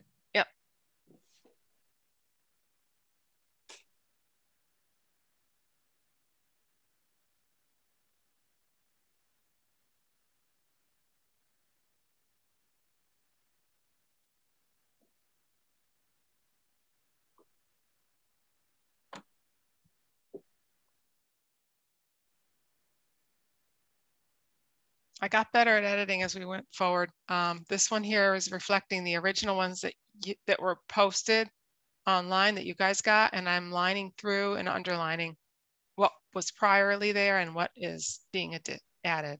Okay. That makes sense.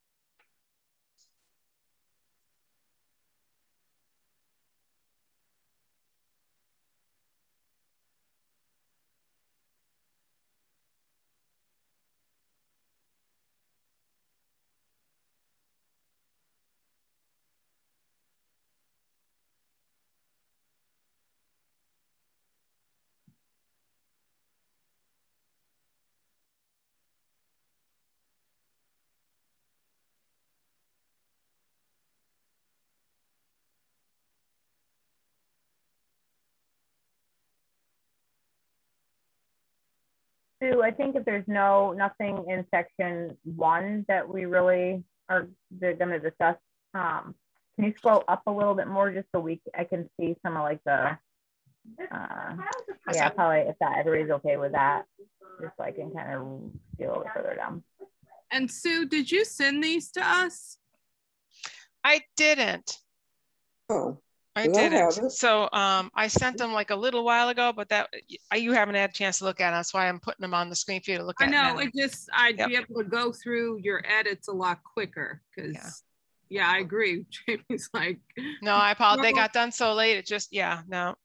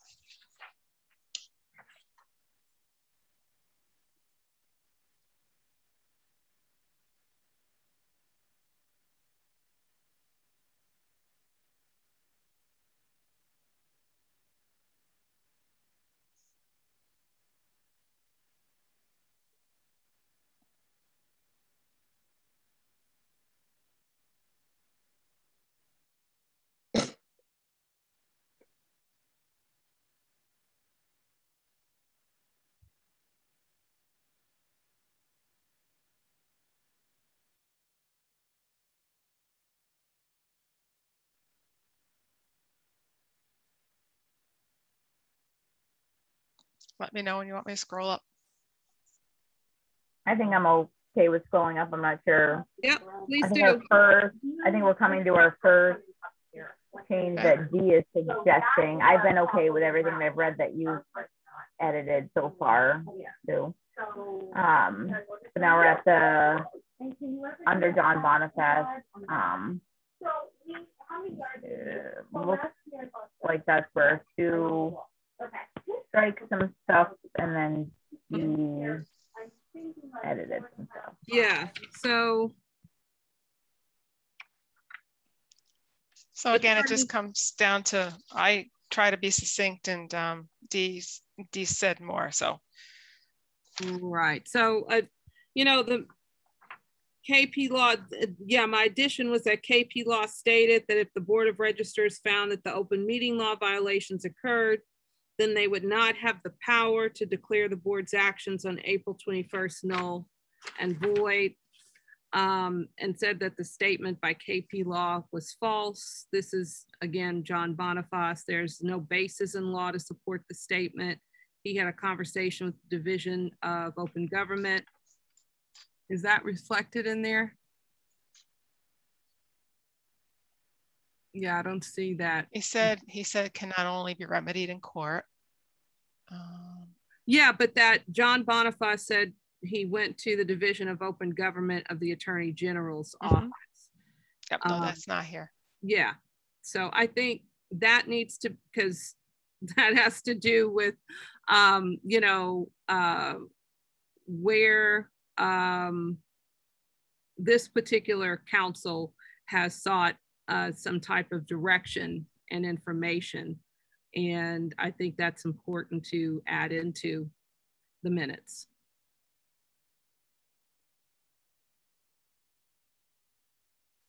So I believe his letter had also addressed this.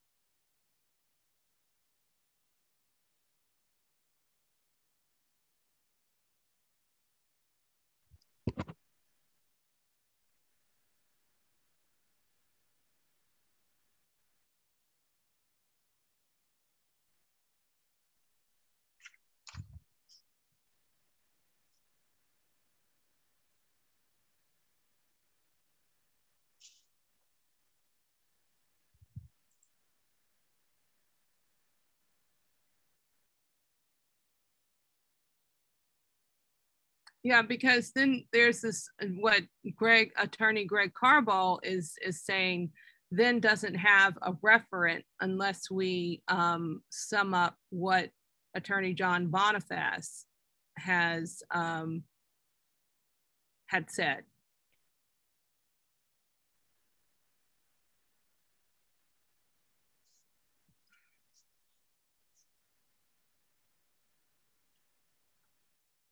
So anyway, I made several revisions um, that were sent to you all, including the pre-meeting coaching um, for Friday's meeting.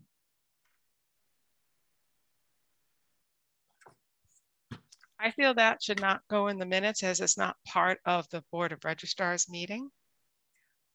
But it's All right. part of, it's part of uh, Attorney Bonifaz's comments.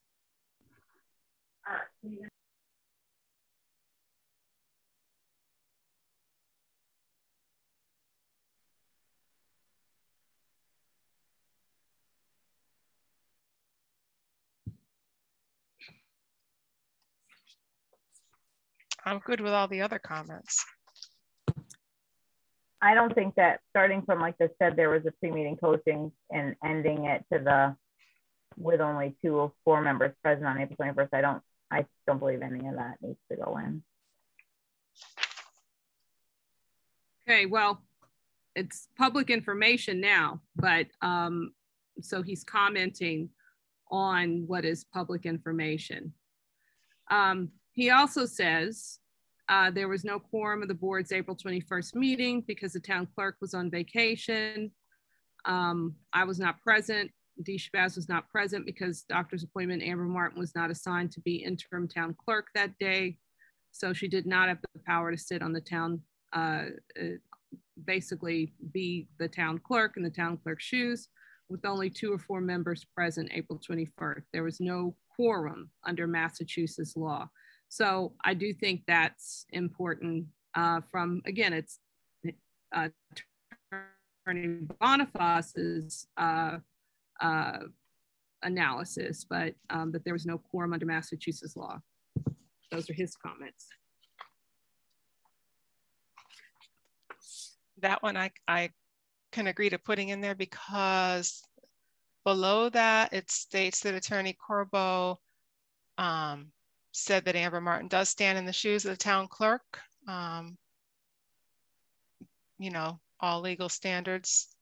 Okay, so if we can. So that makes sense to have that there. Okay, so if we conclude in that paragraph, uh, Bonifaz said there was no quorum at the board's April 21st, just that paragraph, because it is referring to something, of course, Attorney Corbo had stated. got here? Oh, I got the wrong one open. Okay, I would agree with that, as presented that way.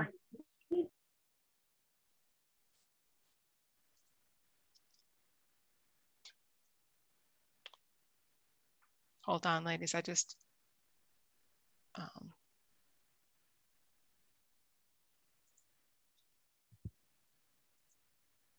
lost one of your sets of revisions, Dee, to cut and paste from. Hold on. I'll be happy to send it. Oh no, I've got it here. Just for some reason, it's not on my screen, but I'm gonna put it back. There we go.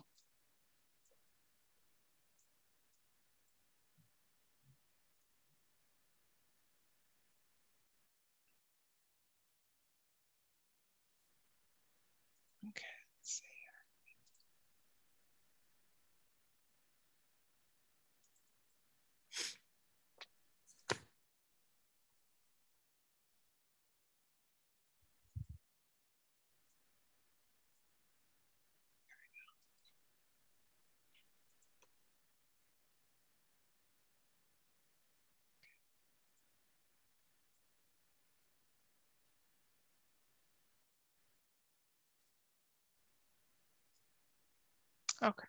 All right. So where am I cutting and pasting? What, you, what are the what are we in consensus on? okay. So good. I haven't heard from the everybody. Are we adding from the very beginning at the first with the first paragraph and then the last paragraph? So um, I wanted to add that um, it said that the KP law uh, stated that the Board of Registrars found that the open meeting law violations occurred, then they would not have the power to declare the board's actions on April 21st null and void. He said that by um, the statement by KP Law was false, was inaccurate. There's no basis in law to support that statement. He had a conversation with the Division of Open Government of the Attorney General's office staff confirming that that is not accurate. Uh, and Attorney Bonifaz said that false advice highlights uh, his second point, which you don't have to put that, but he states, um, and then that's when it you have there, he states that there's direct conflict of interest um, in having Ms. Goldberg or any other attorney from KP Law advising the Board of Registrars. Uh, the interests of the town clerk, town council, and town manager are averse to the petitioners and the board should be independent. So that's the first part. And since you all object to putting in about the pre-meeting coaching, um, the last paragraph that I include is um, Attorney Bonifaz said there, there was no quorum at the board's April 21st meeting because the town clerk was on vacation. Um, Dee Shabazz is not present because of a doctor's appointment, and Amber Martin was not assigned to be interim town clerk that day. So she did not have the power to sit in the town clerk's shoes. With only two of four members present on April 21st, there was no quorum under Massachusetts law.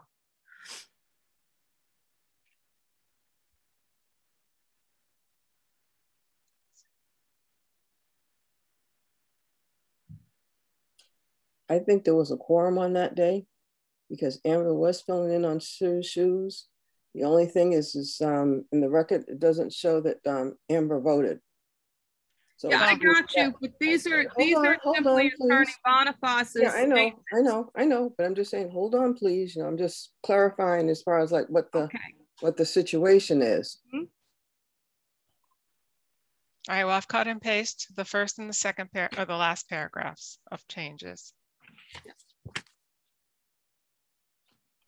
Let me scroll up. Here we go.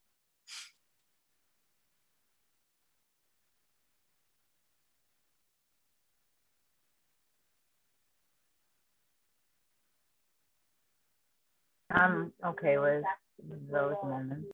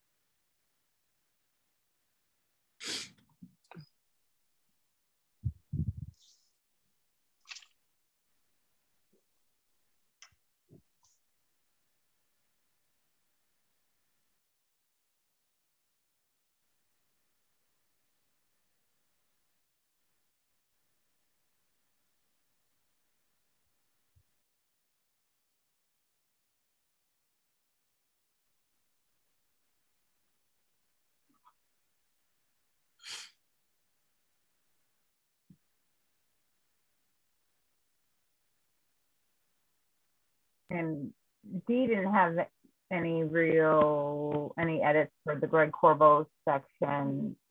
I have no problems with what Sue has. Okay,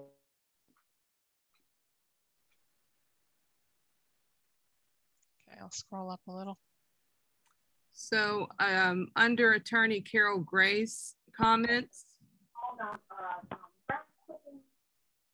um, uh, so the main, to me, the main part of that is the, and you can decide whether to put the second paragraph revision, but the first paragraph revision, I think um, is important um, after, let's see. Oh, it's changed here. Okay. Yeah, yeah.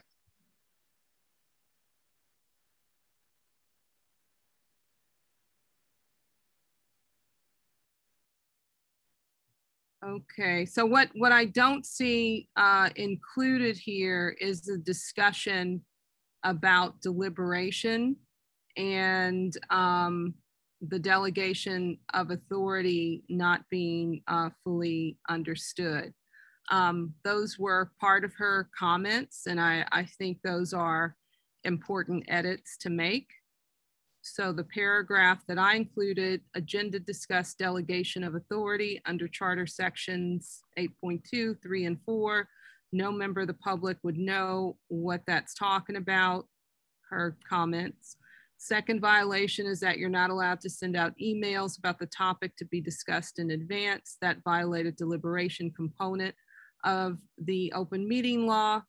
Um, and then of course, says read division of open government language about what is considered deliberation. Email before April 21st meeting that explained everything was deliberation.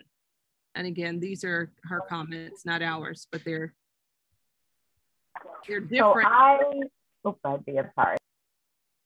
I've already put them in there, so let me know. I personally don't think that this I'm fine with the agenda discussed delegation of authority under charter section. No member of the public would know that's what that's talking about. So that's her opinion, that's in there. But the second violation is that you're not allowed to send out emails. So she's assuming that emails are sent there was discussion and deliberation. Now, for me, looking at that, somebody who's reading this that didn't hear other comments at the meeting, there was no email sent that would, I believe, been considered deliberation. So I think that somebody reading this could say, well, the, the board of registrars, look, it's in there. They must have done that. It, it says right there it was a violation. But that didn't happen. So I don't agree that that part should be in there, the second violation um, down through um, the rest of that from that down. I don't agree that that should be in there because it could give somebody the wrong um, impression about that was her opinion but it doesn't clarify that that wasn't actually, you know, there was, that didn't happen. Okay, for me though, even though I disagree with it, it does say Carol believes at the beginning. So I'm assuming everything underneath that, that's just her opinion that they talk about it, as opposed to the facts of the truth. I can agree with that, Jackie. I just, hmm? I don't know. I, just, I don't I'm sorry, did you say you can or cannot? Oh. I agree with you oh. saying that underneath okay. it being, you know, her opinion. I just feel like sometimes yeah, I know. people will not go back to that and not remember that that was stated up there. Mm-hmm. So unless there's another way that it can be like, you know, at the end of it, that this is again oh. her opinions and there is no okay, but maybe, but maybe uh, additionally somewhere add again that Carol believes a second time to make it clear. I'm okay with that. I just I, there was no, you know, yeah. somebody could just hit, take out that the second violation was that, um, mm-hmm. and then only only mm-hmm. remember that. So I'm I'm okay if we can add the another her opinion or yeah, yeah. her opinion also something like that, so that right. you, it gets a little clarification. Right.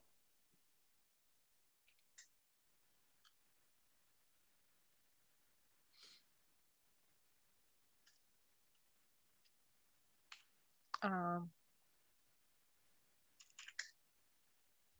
yeah, her opinion. That better? Violation. Yes. Is that you're not allowed to send out emails. I think that okay. that's a little better, yeah. Yeah, uh-huh. That way, I, I think that reads a little bit better.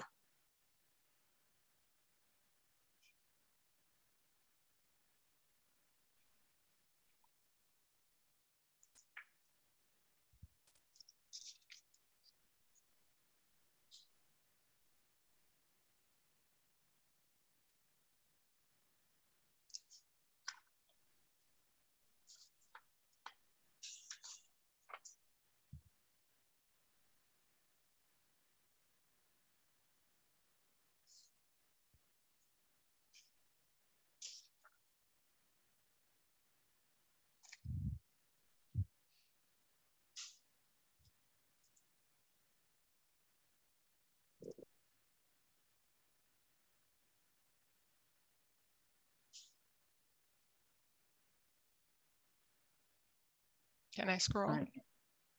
And then Dee had some changes. I'm not seeing, I think it's still under Carol's section where the board can redo the April 21st meeting, can do what Attorney General can do, notification of prior meeting. Is that, was that somewhere that was in, oh, it just got separated on mine. Okay. Sorry. Scratch that. Yes, I'm good to scroll down now. Public comments.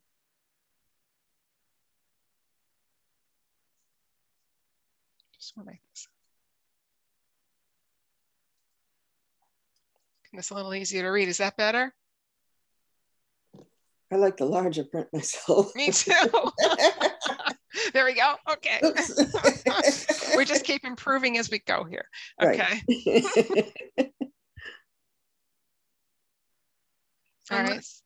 So unless Jackie has something to amend to their um, comments, yeah, scroll up. Thank you so much. So well, yeah, but that's okay. Well, just leave it as is. It's what I said. It's it's pretty much what I said, but I wish I had just ex, um, expanded a little bit more. But hey, it is what it is. So Sarah McKee, um, you know, again, in trying to condense what's there, um, I think the recommendation uh, of nullification of the vote um, taken immediately following deliberation. You know, you don't have to use my words, but that's basically what what they were talking about. You do reference that um, they're they want us to seek guidance from the AG's office, but they also suggest um, nullification of the vote taken on the 21st, I guess is what's implied there. But on the flip side, if you say that, then you, to me, is a, is a, shall we say, a healthy balance on that would have been, well, something else. I don't really want to go into that either, as far as, um, but that's, that to me should be balanced. I'm sorry, what? As far as like, okay, the nullification that you're talking about, there was nothing wrong with the meeting. It's just that there wasn't a quorum present. Or okay, no, I'm talking yeah. about what Sarah McKee. I mean, I I have something longer than that, but I'm just mm. trying to get at, you know, what is different in what Sarah McKee is saying within her statements to okay, yeah, press. What's going on. Yeah. Yeah, I, I mean, got you, but I thought you talked about the nullification of the meeting. Well, she and says that. that. So she says, yeah. Yeah. So she yeah. says she's, you know, um, I think we have that. She's been a part of the bar for 40 years, references the AG case on the open meeting law. Uh, and she, she references a particular case, the Dudley Planning Board, for deliberation, an AG's office recommended imposing an order for nullification of the vote taken immediately following the proper deliberation. Request okay. town's guidance from the AG's office in order to rectify what's clearly a gross violation of voters' rights on this matter. Okay. So, but the point I'm making is it's about the quorum. And also she didn't mention anything about the content of the meeting. Because again, to me, people getting the voters petition, people thought that that was the place where if where they would have gotten permission to to um, redo stuff. Okay, I'm just trying to sum up. Yeah, okay, but I'm just saying to me that's kind of like the the, the um you know the sidebar comments on that one or the side off to the side comments, but it wasn't in the meeting. I have to agree with that. So, sort of. anyway, go ahead. Sorry. Nope, those were those were my revisions. So it's just up to you all. Okay. Uh, oh no, it can. It can. It can go in. It can go in. But I just would have liked to have seen a little more, shall we say, beef on that, but it's not the beef isn't there.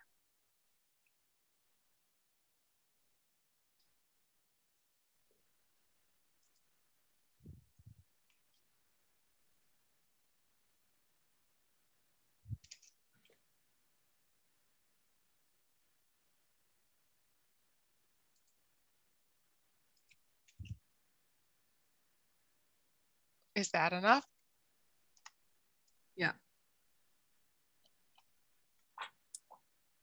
And then on Nancy Sardison, I think that line, that first line should read for accuracy, spent half of her life as a voting rights lawyer. There's not a voter lawyer, a voting rights lawyer. Oh. Yeah.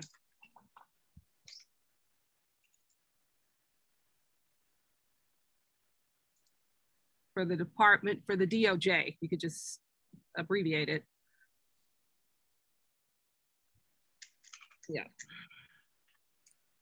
Um,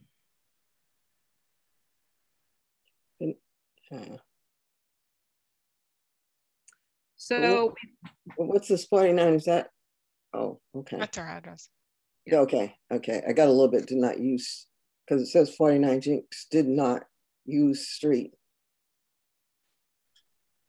Oh, yeah. yeah. Doesn't Sorry. make any sense. Yeah. So that should, I guess, to sum it up, disqualifying Barbara Elkins, who used the abbreviation LN rather than writing out Lane, um, and then 49 Jinks, um, because we didn't use, I don't know. So I'd have to listen to it again. That's probably an error on my part. Yeah, and, that, and, uh, and the one we've got up on the screen says did not use street, did not use apartment numbers. Okay. All right, so um, I think, wait, where is she? Did we put in that um, she's not, let's see, those Jim Crow, okay, because she starts talking about voting rights, and that's what she looked at when she's part of the DOJ. Um, says she's not here about the library, which is a political issue. Um, says she's here about uh, being a constitutional issue. And that's what she was referring to, disqualifying Barbara Elkins, um, who was one of the signees. Is a constitutional issue. It's a voting rights issue.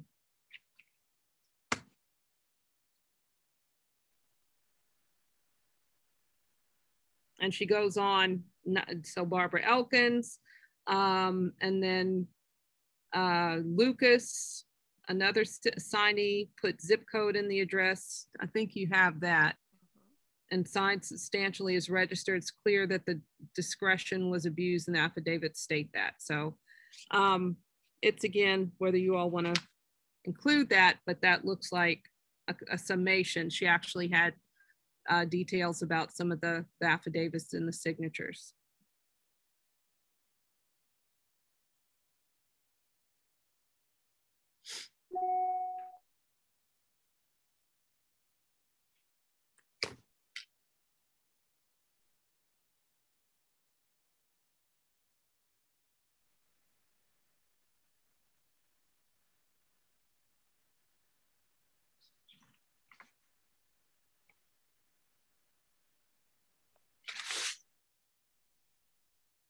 I'm fine with you adding that stuff too. If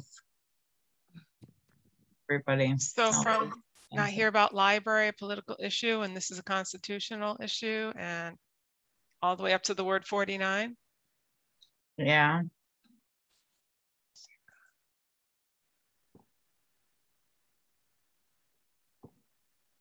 That right here.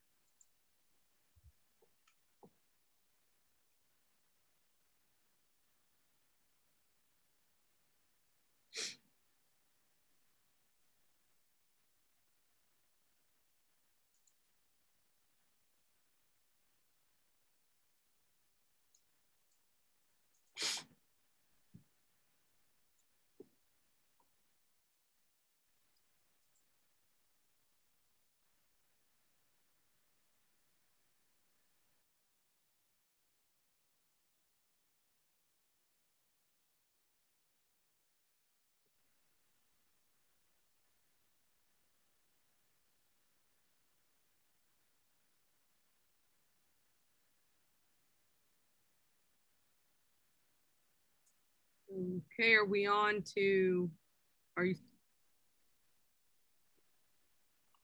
But yeah.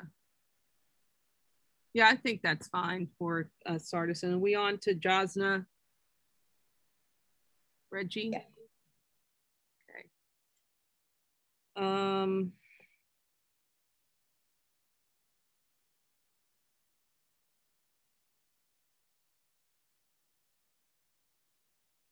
I'm also okay with the edits from Jasna, from Dee.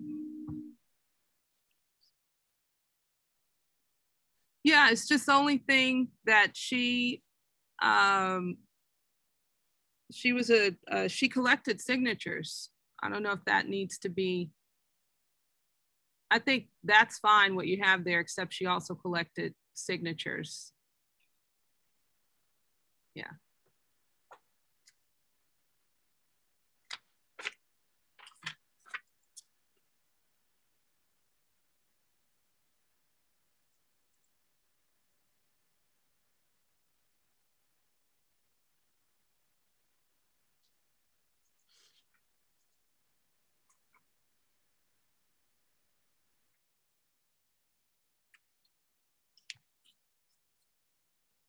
Um,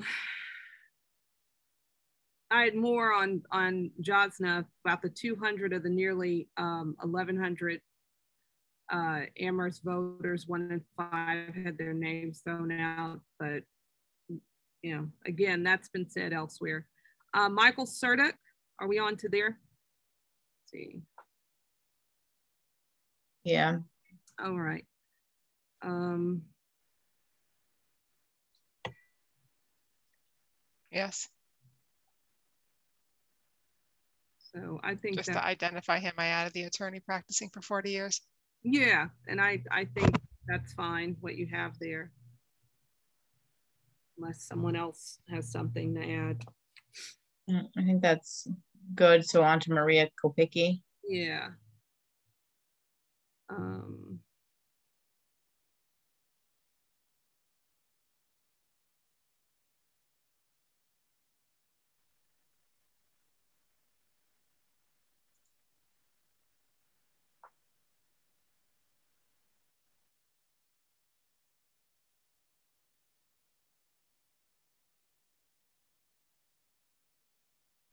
I'm okay at this point too with uh, these additions for Maria.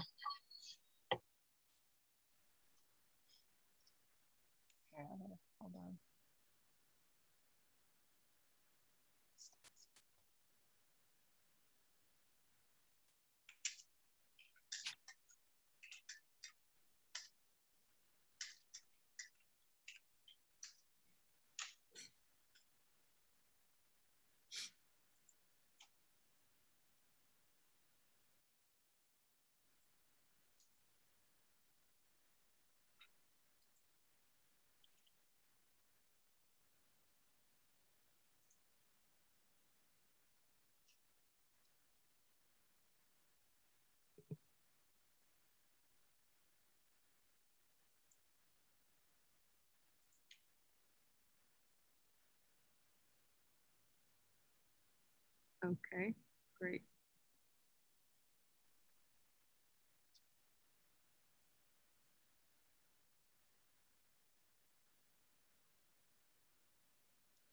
Right.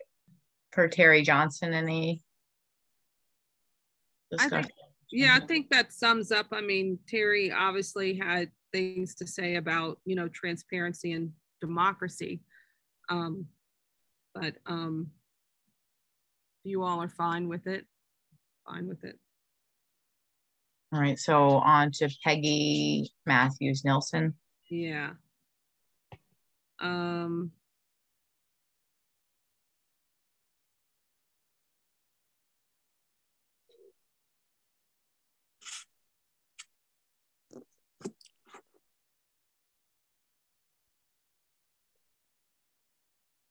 I, you know, um, I don't know why that was taken out, but, um, you know, Peggy uh, did say something to the effect of it, it's unreasonable to require residents to go to court to correct the assistant town clerk's mistakes, whether you want to put you know, that or not, but it's unreasonable. That was part of their main point. And um, Well, maybe if you threw in alleged, because I'm, I she doesn't know for sure what happened. So maybe oh. if she alleges or something like that okay. in this particular case. Well, then we would be mis misinterpreting or misquoting Peggy Matthews Nilsson. But uh, the main not, not just saying she's alleging. Yeah, well, the main point actually is, or uh, it's unreasonable it's unreasonable to require residents to go to court to correct the mistake. But you're saying that it's a mistake that you're correcting. You're alleging that it's a mistake. It hasn't been um, proven. yeah again peggy's peggy's thoughts and words not mine. I i understand that. I understand that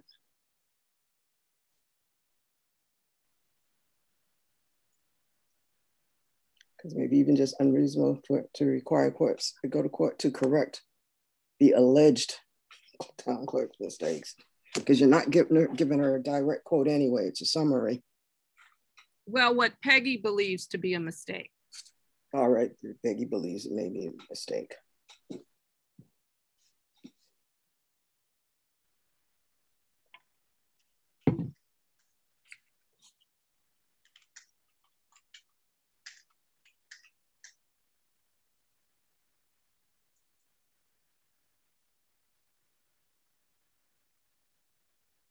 I think um, we should leave Peggy's as it's corrected on the screen. I just added. Do you want me to take that out? The court part? Hold on, let me. Yep, take a look. But that's what it says here. Oh, wait a minute. Use it. It's unreasonable to require residents to go to court to correct the, the assistant town clerk's mistake. That's heard from her. Yeah, I think I'm fine with with having the what she believes to be the assistant town clerk's mistakes. Like I'm, it's Yeah. out there that that was her opinion, but it, Yeah. I'm fine with up there. hmm Okay. No, I'm okay with those. She, as long as she uh, believes and not stating it as fact. So how many yards were you thinking? All right, so So Dee, are you fine with how I'm it's presented on screen? Yeah, I'm fine with that. I'm on the, is it Elizabeth Gilbert? Okay, yep, Elizabeth Gilbert, can, mm,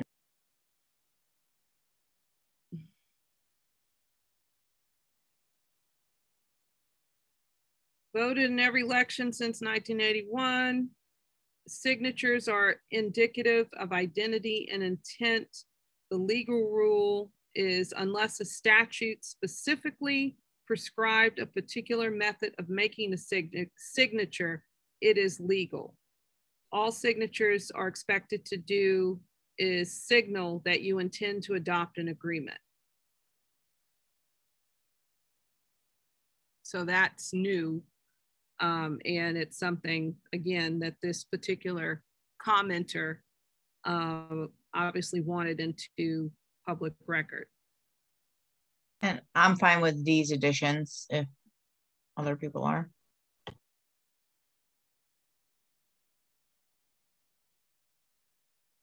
You talked about Peggy Nelson? Elizabeth Yes. Gilbert. Uh, Oh, yeah, Elizabeth. Elizabeth Gilbert. Okay, okay, wait a minute. Let me, let me go back. So Okay, I still just added it mulling over a few other things. Sorry, a little bit behind. Okay. Well, bottom line is, you know, um, some boards and committees only put down, these are the people who comment. They don't even put down what their comments are. hmm Um, we had all this and we're, you know, it doesn't have to be a transcript. So we were trying to get the gist, but not have to have Mhm. verbatim. hmm That's where we, that was our starting point. Okay. Oh, I'm okay with Elizabeth. Sorry about that. that. Elizabeth and yeah, I'm, I'm okay with that. Sorry, a little slow here. It's late in the day. What can I tell you? Must have got up early today. yes,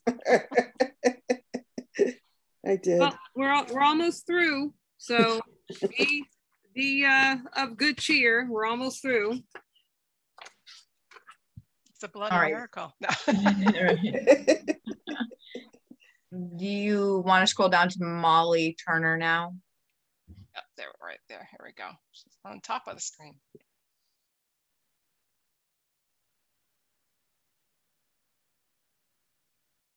I'm fine with Molly Turner. All right, so I'm good with it too. Jackie, are you up to date with that one yet? Uh, give me one more second. Sorry. Just want to reread it one more time.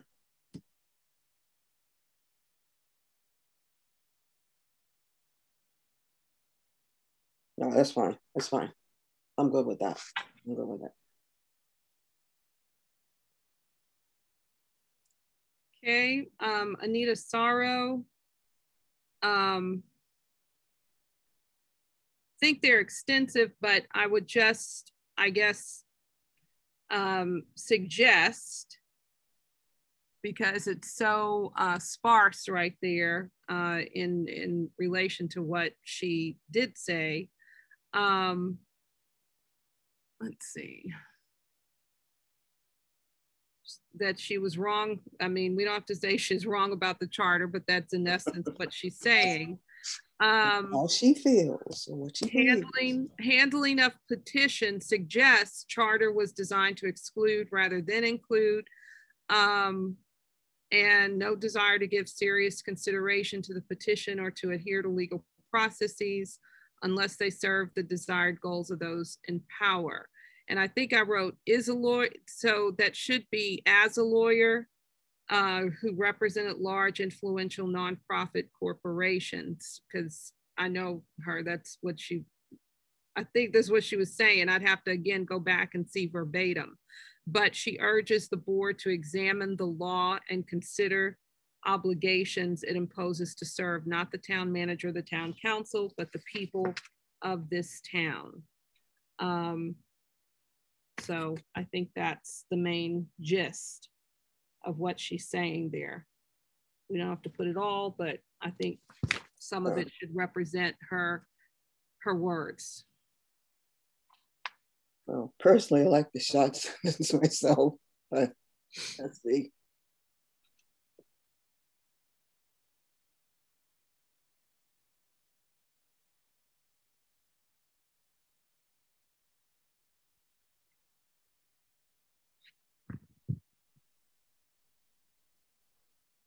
I'm okay with what Dee added, but that's just me. if It doesn't really, opinions. me, it doesn't really matter, but Pull down second driveway, dump next to compost.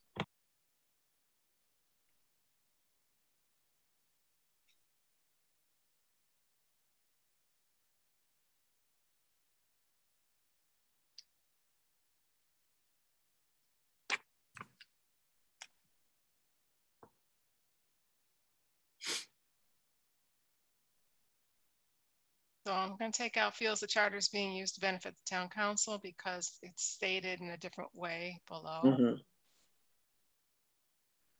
Oh, and this too, it says that too.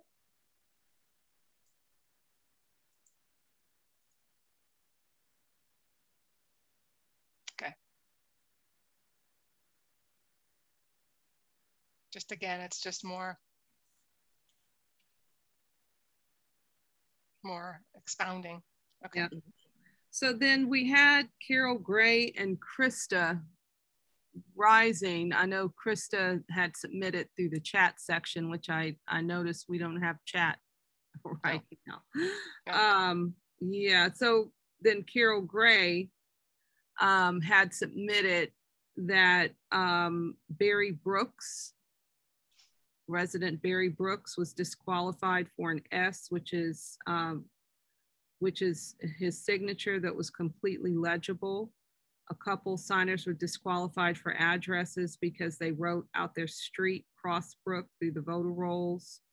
Um, Maud Beeching Low wrote her address clearly.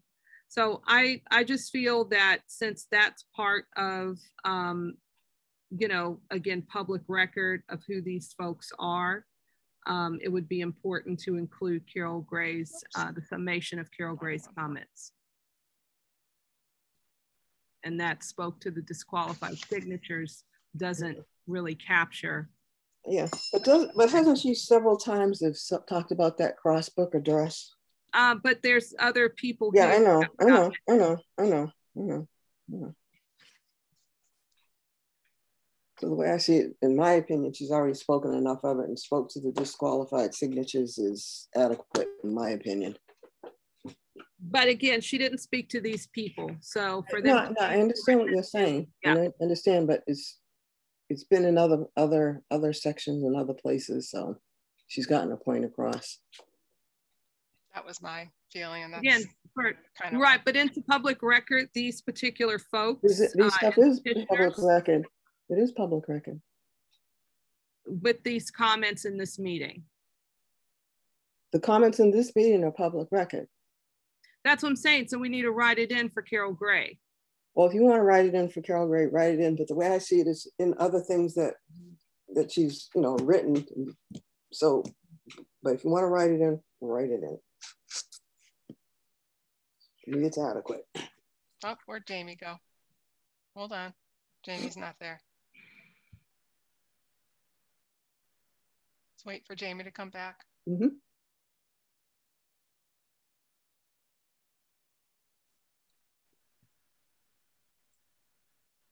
But it's showing Jamie. Oh, still.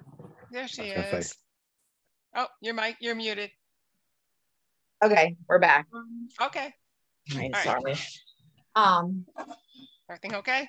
Yeah, I think that I think that we might just. I mean, we've. I have no problem with adding the Carol Gray and the Krista Rising stuff. I just don't know how. Um. You know, when you putting people's names and addresses in there and it wasn't them it, you know somebody else made a comment is it okay to to have that kind of information i mean it's out there already it's, but like right. it's public is that okay it is i'm okay with both carol and krista's addition on there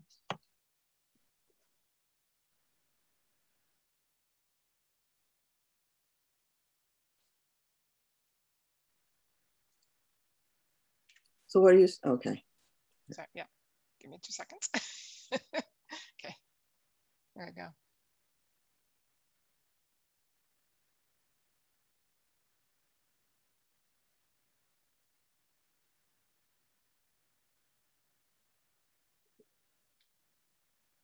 All right, is everyone else good with what she, um, Sue just added? So we can go skip to the section four review of the open meeting law. I don't like that red comments and then comment red. Oh, okay, hold on. Yeah. Just, I just want to do a quick save. Okay, sure. Mm -hmm. Getting kind of far into this. Okay. God forbid I should lose this. this, is, this.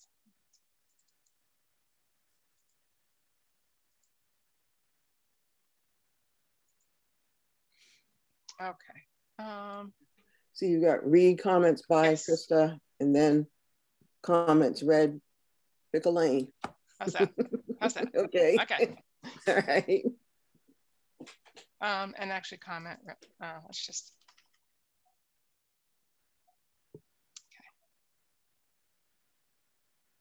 Okay. Um, okay. Yeah. Oh, that, yeah, yeah, yeah, okay. that's good. That's good.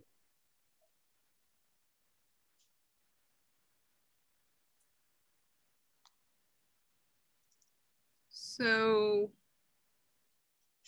see.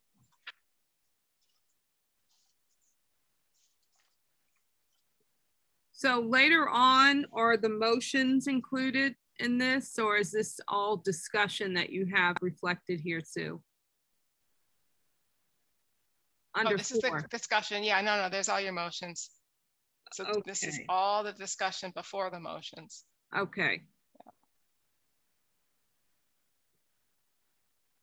So if you, can you make the, any bit, like, so we can see more of it, or that's pretty much all we get? Um, let's see here. there-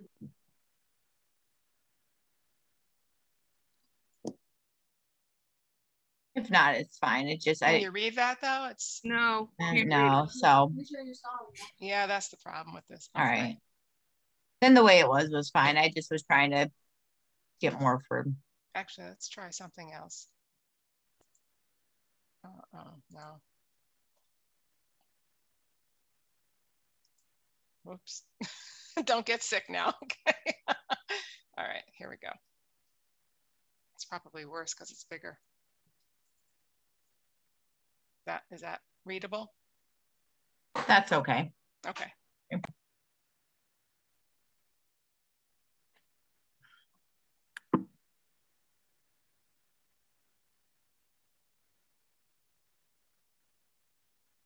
By the way, we're able to go into our own view options and enlarge. I don't know if y'all know that.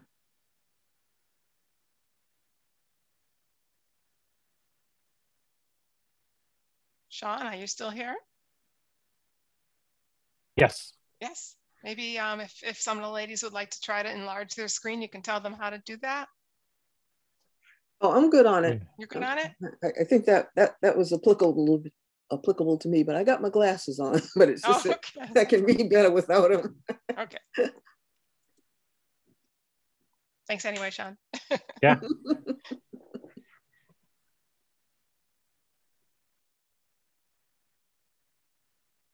I've got down through um onto like the next page where Dee Shabazz wants the board to be transparent like that. I'm okay with everything that's been added from there up. Um, Everybody else? if everybody else is good. Yep. Okay.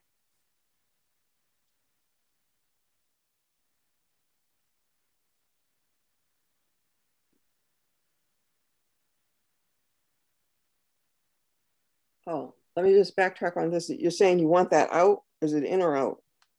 No, I was good with it in. I was just kind of thinking so she could scroll up some more and we could go on to more. I was okay with everything that had been added. Oh, okay, okay. far. I thought you all had already gone down the bottom. Okay, I got you. Okay, And. Jackie, you're looking at the one on your, your hard copy, but you want to make sure you're looking at the one on the screen. Yeah. Oh, Okay. actually, I have my, my, uh, right here. Oh, good. Oh, okay. Okay. Gotcha. I'm good.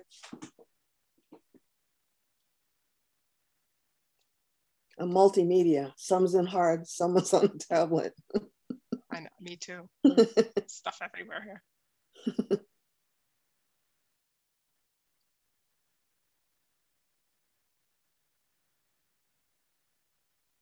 Actually, my printer died, that's why. Oh. I Couldn't print it out.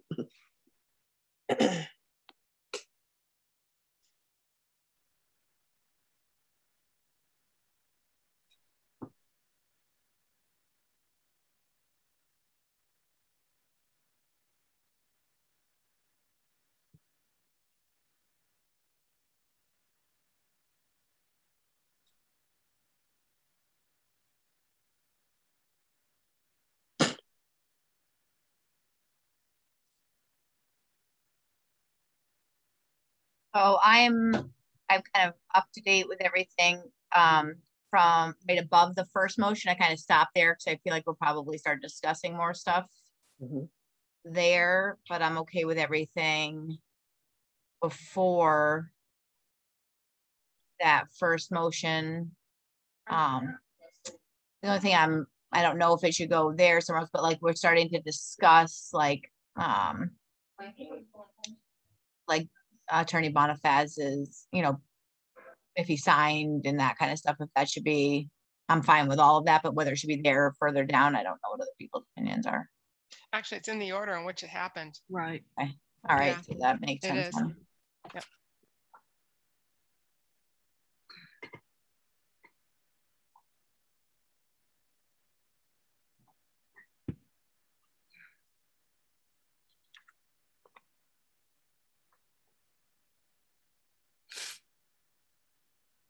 So is there, um, should we, is everybody okay to move down and start with the first motion? Sure.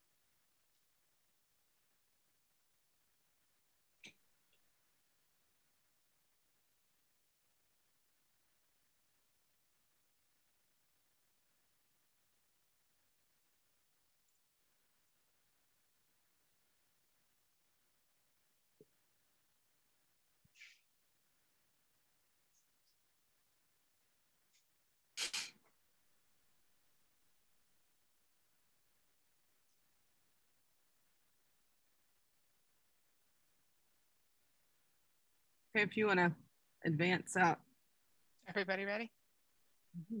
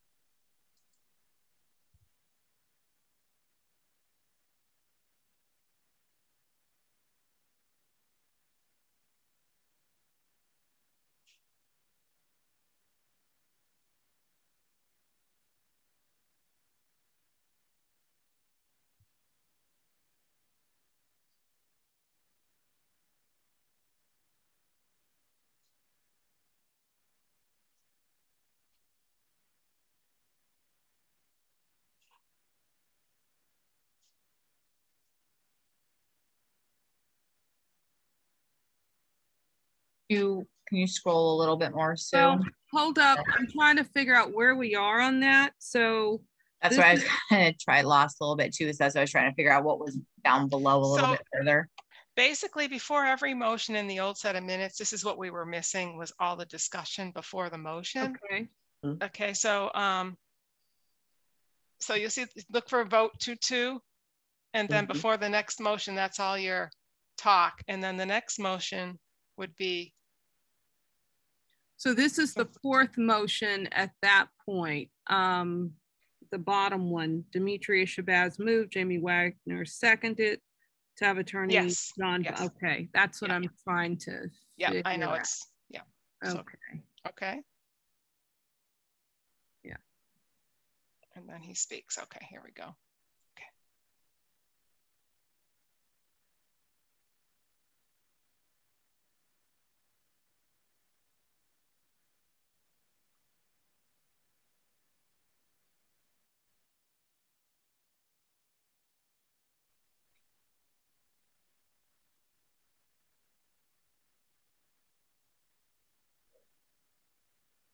Okay, I don't know for, let's see, for Attorney Bonifaz, uh, states that the meeting should be null and void as there was no delegation of authority.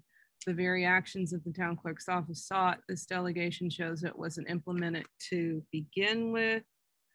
And then there's an addendum here, felt that the town charter did not override the open meeting law and that the board has the power to take action. Okay, Mhm. so that was the addition. All right.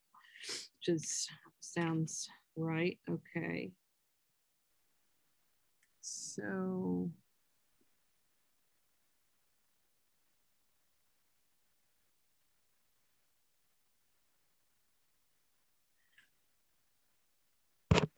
Okay, I don't know if the, which one came first. Um, was it to have John Bonifaz speak again? And yeah, but I'm just looking at the previous notes on this. I guess it's now the fifth action. I mean, the fifth motion. Mhm. So, um,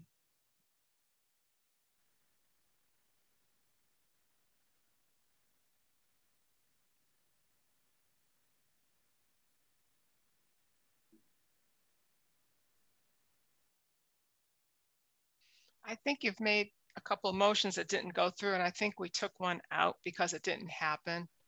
Um, oh, but it should still be part of public record. Yeah. well, So that would be one, two, three, four. There, this was the fifth motion is what I'm trying to understand. I know, I see, yeah, I see where you are. Yeah, and so it just reads differently than what was in the original minutes.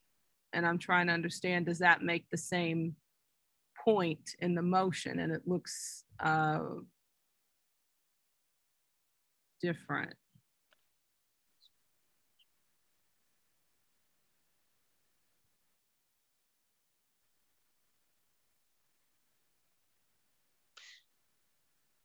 Well, the one, the, what you've got up on the screen is actually almost verbatim for what happened, looking at transcripts and listening to the meeting. Yeah. So, um, but what, the first set of minutes, I don't think it was exactly, I think it was so confusing that things got put in the wrong place. Okay. Because there were a lot of motions made and then they were half made. You know what I mean? It's like Mhm. you're not going to put that in the minutes. Um, at least this reads, okay, here's Okay. the motion, it passed, then he spoke, and yeah. Okay.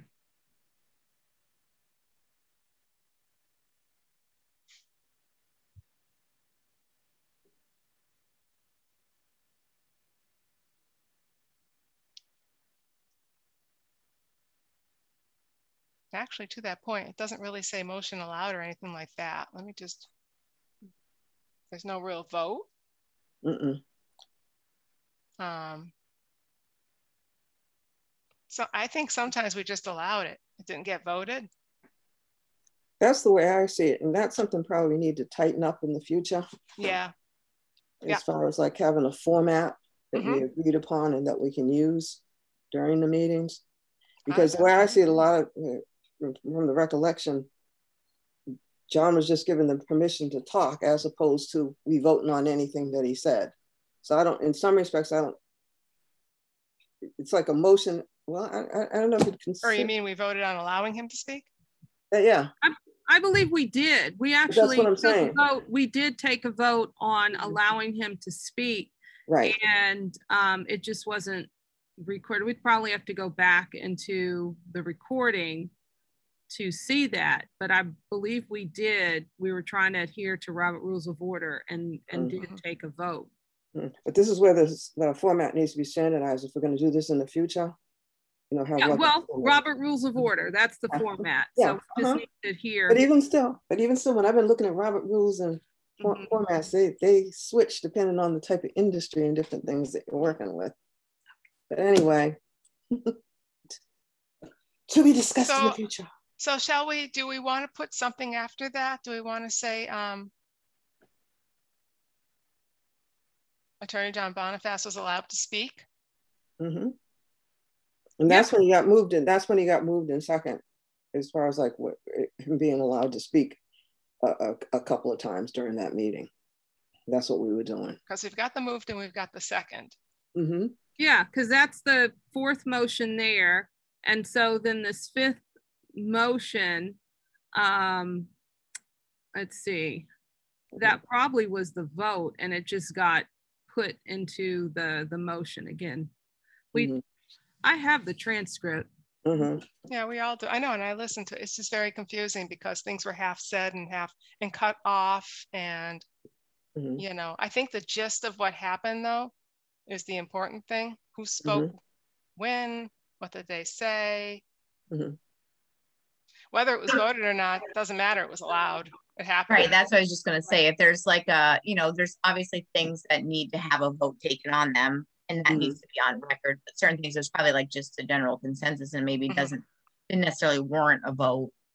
But obviously it was allowed because it goes on to in the next paragraph, just right what he said or whatever. So, but again, I think Jacqueline's right. We need to, I guess, kind of, I mean, Up that to our, you know, benefit or our side or whatever, we, we don't typically have meetings like this. I mean, we've, Uh-huh. this is all kind of new to all of us. Um, Yep. so I think having that meeting going forward in the open meeting law training, that will help us kind of, Mhm. if we are faced with this again, Mhm. know the, the proper Yeah, way to the handle rules. things. Yeah, because also, you know, even the process, I know that the chair can allow him to speak, but, you know, just maybe, again, also figure out ways that that can be allowed. Like whether or not they should have been given a time limit, you know, things like that is probably what we need to, you know, talk about too. I'm gonna leave it alone. Yep. For now. Okay, moving it up a little bit. Okay. Things for the future.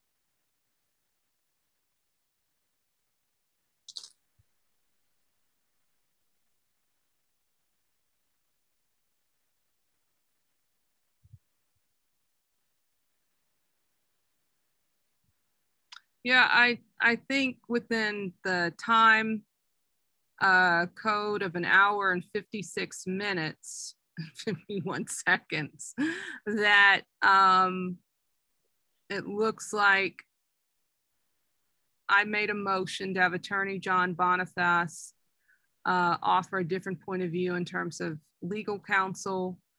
Um, Sue said, is there a second?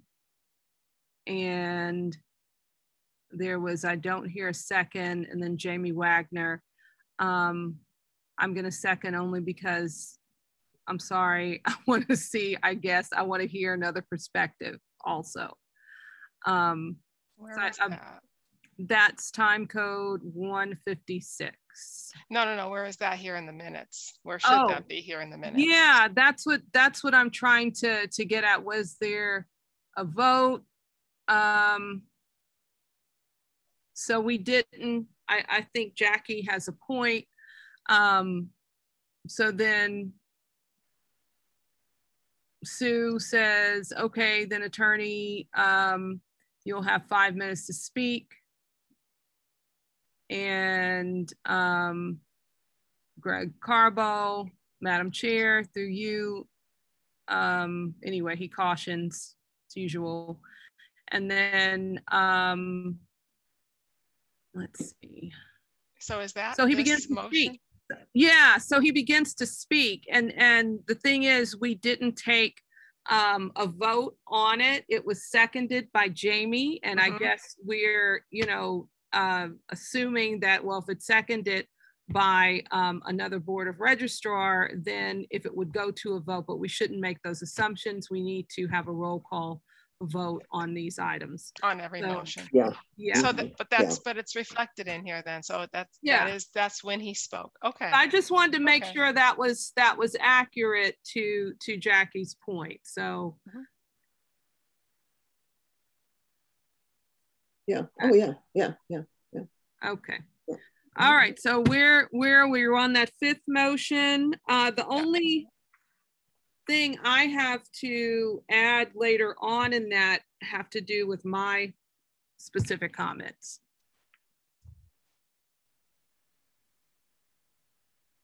Under that Yep.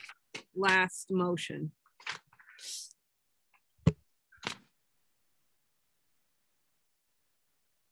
They're pretty severely abbreviated. Mm-hmm.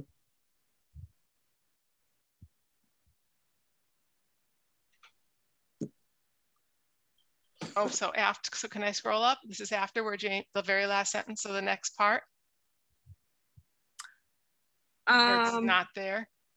let's see. So Jamie Wagner stated there's no violation of the open meeting law. Where's that? Very Okay, last sentence on page six. Oh, I see. And then, Yeah, page yeah, six. so then I have Okay, then your, comments. your yeah. comments. Yeah, Yeah. okay. So let me get Yeah. your comments up.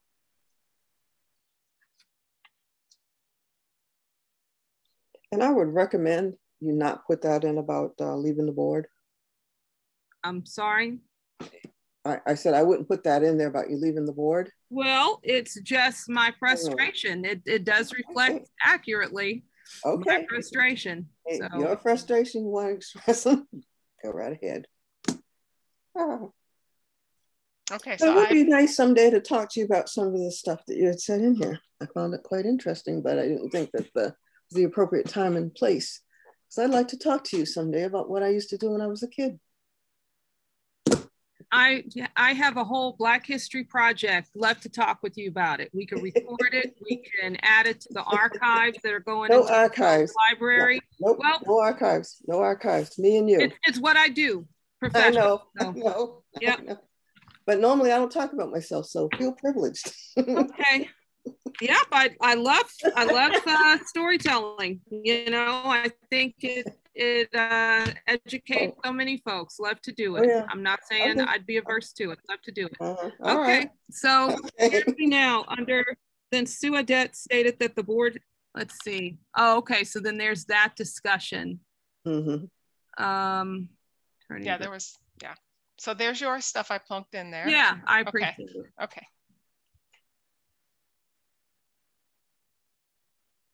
So what I think, Sue, is that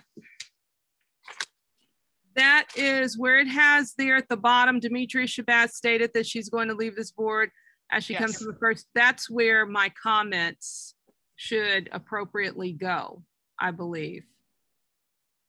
In relation to, okay. you see what I'm saying? Yep, I'll take, oops. Yeah. All right, let's see here.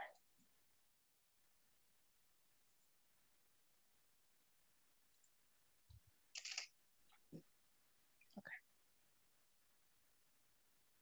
All right, so we're here. So then that first line, um, so Demetria Shabazz Um, Oh, yeah, we're repeating here. Let's see. right. Let's see. So you could just, re- uh, Demetria Shabazz uh, discussed about whether the notice requirement of the open meeting law was violated. Because, yeah, I repeat that later, so. Mm-hmm.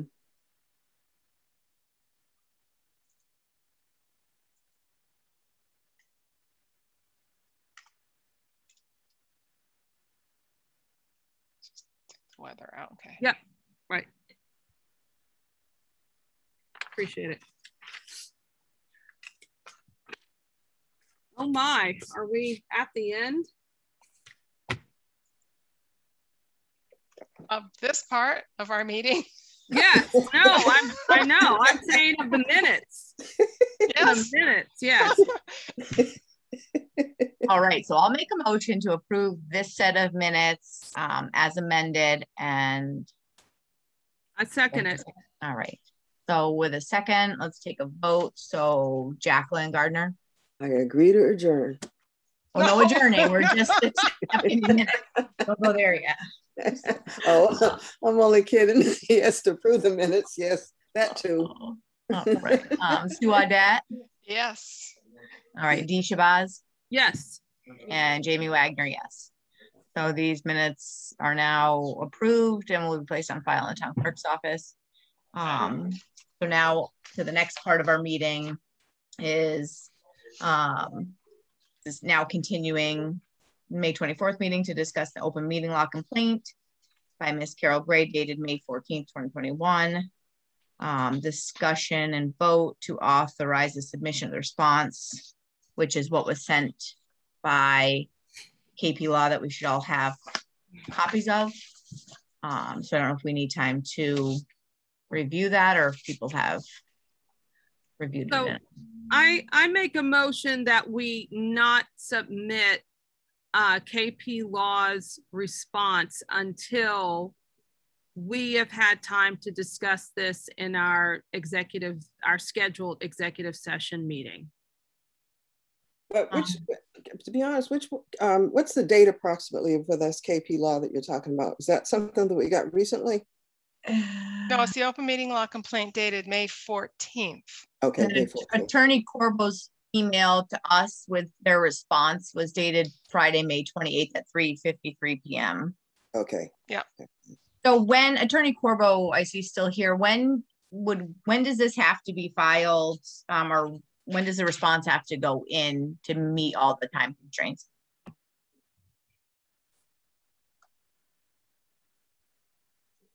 Oh, there we go. Thank you through you, Madam Chair. Um, so you have 14 business days from receipt.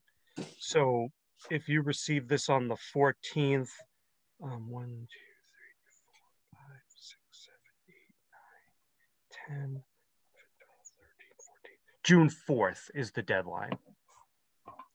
Ooh. Hmm. So, you know, I I still would restate my motion because I don't agree to submitting on our behalf as the Board of Registrars a letter from the attorney apparently representing the, the town of Amherst. Um, this letter, if we ourselves have not discussed it, since it involves litigation having to do with the Board of Registrars. It was this, this No. is separate from the lawsuit though. So we, the meeting, the executive session that we were gonna have the meeting on was in regards to the lawsuit. So this is just the open meeting law violations. I think those are still need to be two separate things. Yes. Um, Definitely two separate things. Yes, this is just our Okay. response to that complaint to the AG's office, Mhm. addressing each of the issues in that complaint. Right. Well, That's all this is. I still feel we should discuss it, but Well, that's what we're supposed to be doing right now. yeah. So should we take a couple minutes, well, a few minutes and read up until um, the first discussion for section number one, the minutes of the board, like that's the first complaint. And so we're familiarized with what's before that and then start with each complaint. Okay.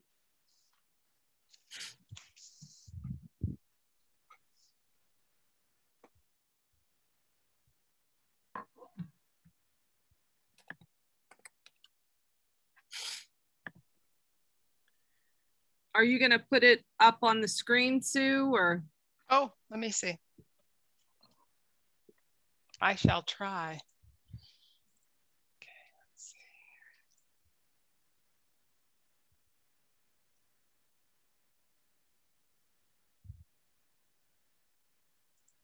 And I'm a little bit confused too. Is the letter that um, Greg Corbo um, responding to on the May 14th open meeting law complaint, is that what we're getting at too?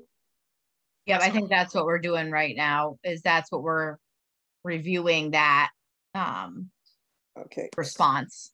and Okay. Approve it or not approve it to be sent. What, to approve his letter, right? Right. Okay. I think right. that's typically, if I've understood everything correctly, that's typically the kind of the chain of events that happens. If there's a complaint, it goes through the town attorney. Yeah, yeah, no, no, I, no, I get it. I just want to make sure because again, I don't want to like cross over into you Oh, know, the litigation. The, the, um, the, the litigation during this meeting. That's why I want to make it perfectly clear as far as like exactly what we're doing with this, this letter. Okay. Hold on, I was still in the middle of saving the last set of minutes. I hadn't even finished that. Okay. All right, let's see here.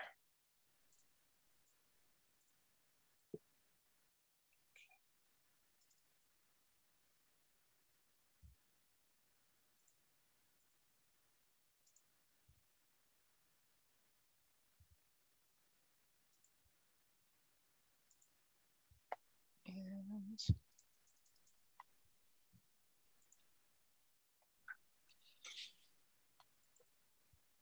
Okay, does everybody see?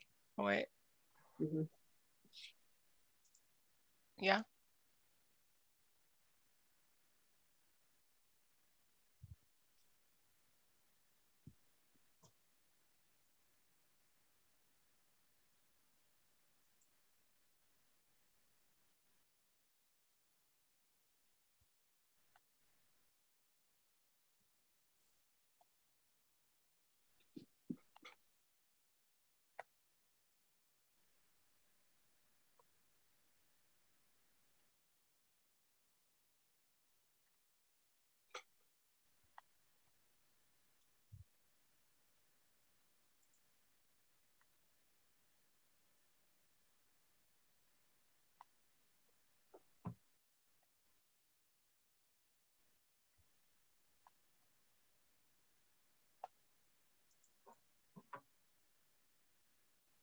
So I propose a revision to uh, the third paragraph, first sentence.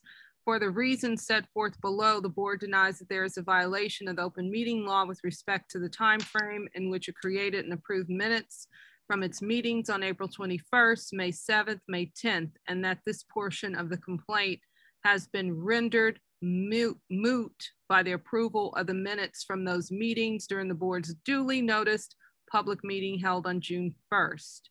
Um, I could see a revision that um, there is uh, some merit to uh, the part of the complaint that states April 21st meeting minutes were not filed within three meetings or 30 days. Otherwise, that's inaccurate. And Attorney Corbo on the uh, May 24th meeting admitted to that in uh, that inaccuracy. Uh, Madam Chair, through you.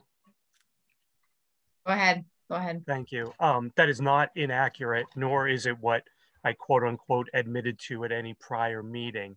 Um, if you scroll down to the discussion of that topic, what you will see is a quotation from the Attorney General's regulations. Yeah, stop right there. Um, so what it said, what the regulations specifically state are that a timely manner will generally be considered to be within the next three public body meetings or within 30 days, whichever is later, unless the public body can show good cause for further delay. And as I will explain further down below, um, it is my opinion that the board did in fact have good cause for the delay in not approving the minutes at its last meeting, which would have been within the time frame because it was pointed out that those minutes did not accurately reflect what occurred at the meeting. And in my opinion, um, it is good cause to take additional time to ensure that the meeting minutes are accurate rather than approving something that may not be accurate. And so um, it's my position that there is no violation of the open meeting law regulations because there was in fact good cause um, for, for the short amount of further delay that occurred. Well, I don't, I don't agree, uh, but um, I guess we can vote on that because this is supposed to represent the Board of Registrars.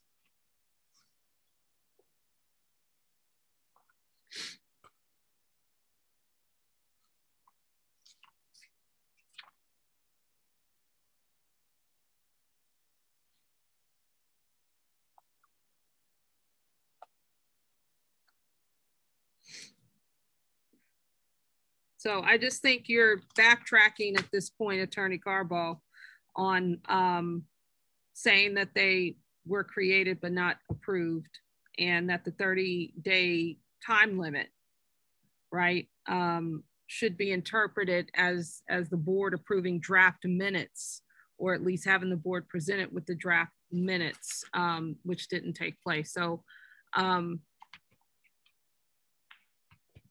I, I don't agree.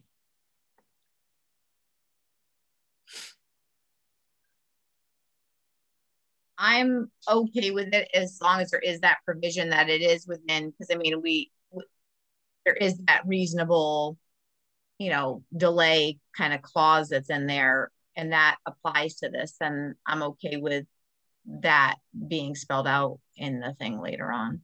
Mm-hmm. No, I'm okay with it. I'm okay with it too. So are you saying that it, the first, that third paragraph, first sentence should be revised to reflect this provision? I don't see anything wrong with that.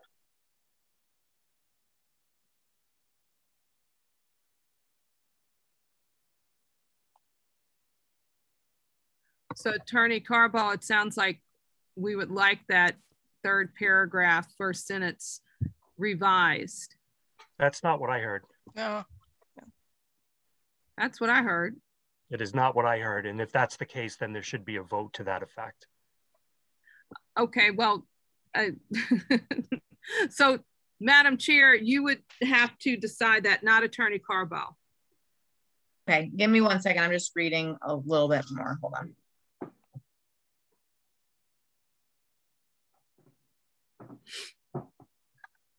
All right, so I guess I'm gonna ask the board. So I agree with what Attorney Corbo had said, that if there is a provision that allows for time, you know, a reasonable delay, um, which he saw with our last, you know, the, the minutes didn't approved at the last meeting, we needed to push it off. But and if there is a provision that allows for that to happen, then I'm okay with how he has it stated originally in this. I don't know if that um, going forward to who we're submitting this to, if that needs to be put in the minute in this letter, excuse me, not minutes. I'm so stuck on minutes right now. If it needs to be put into this letter, but as long as that provision is whoever is getting this letter knows that provision or knows that. I don't know that if it needs to be changed at all. This is the attorney. So Jamie, just to be specific, this is the attorney general uh, for the state of Massachusetts that's that's getting this letter and that has received um, the original complaint from Carol Gray. Um, so, you know, it's a it's the highest uh, uh, legal uh, office within the state of Massachusetts. That's who's getting this letter. And so, what is stated on paragraph three, first sentence, for the reasons set forth below, the board denies that there is a violation of the open meeting law with respect to the time frame in which it created and approved minutes from its meetings. Um, that is, you know, this is a legal issue. So I think we need to be clear on what we are agreeing to with uh, Attorney Corbo writing on the behalf of the town. Can I speak?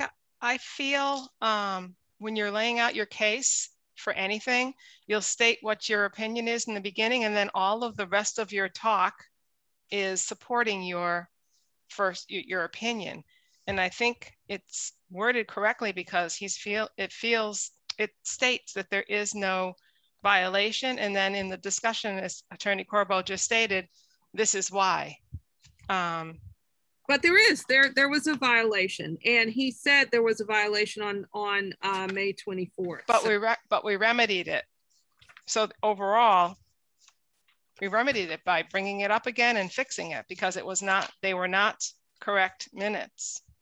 So I would just say that you know we could say this for the seventh and for the tenth unequivocally, but to say it for the 21st, I believe there needs to be um, a different sentence that there was a violation, but we remedied it as soon as we were able to. In my opinion, oh, sorry. Um, as far as like, you don't want to like give like a lot of wiggle room and like casting doubt over what you're saying. I mean, it just sounds like ambiguous. Just, you know, go forth with what, what you got here. But if it's true, Jackie, why would there be doubt?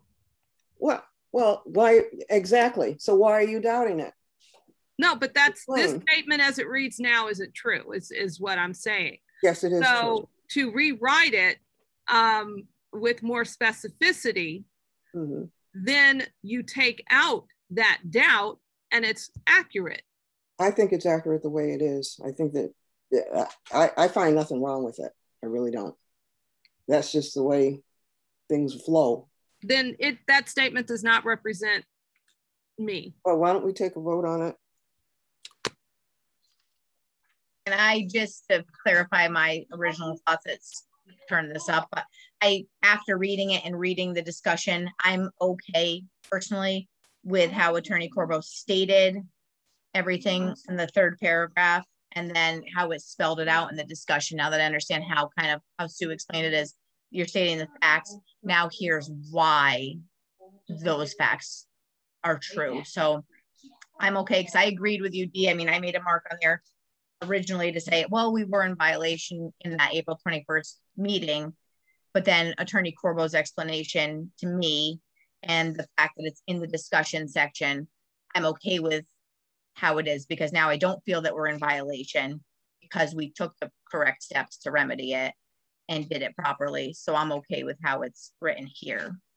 Um, yeah, and all and you know, I would be in agreement with all of you except that, you know, I write for a living and it's misleading to have this in the third paragraph as that first sentence. Um, oh. And it looks like, you know, again, we deny that there was any violation. There was a violation. There was a violation. We remedied this, but there was a violation. So that's that's my point. Mm-hmm. Okay. And I think that with it noting that it says um, the you know today's meeting on June 1st is kind of saying that you know that's why we're not it's you know is referencing the meeting today is kind of you know putting everything into compliance at this point from how i'm understanding it. Mm-hmm. so should we take a vote at this section to approve or not approve this or should we look at the rest of everything and do it as a whole i, I think for this section do vote on it and just move on to something else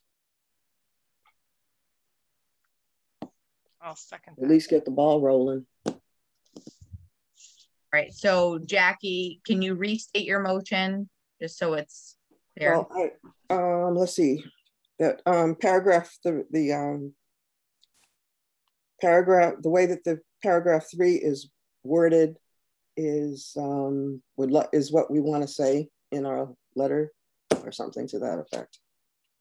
I'm terrible, and I and I too write for. I used to write for a living too, but in fact, you may have even seen some of my work in the dictionary, occupational titles, and a few other publications. But hey, um, but anyway, that's beside the point. Um, okay, Mm. so I make a motion that we accept paragraph three as as is. Is that Second to that motion. Sue, I know you had seconded it earlier, but maybe just if you were gonna do it, do it again. Yep, I just did. Second. Can you Okay. hear me? So the motion is on the table to accept paragraph three as it's written. We'll take a vote on it. So Jackie Gardner, I vote in favor of accepting paragraph three as is. and Sue Audette, I accept it. And Dee Shabazz, I don't accept it. No. and Jamie Wagner, I do accept that.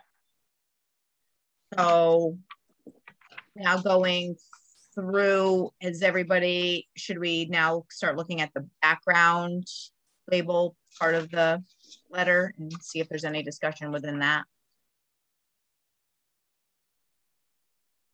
Can you forward the letter there, Sue?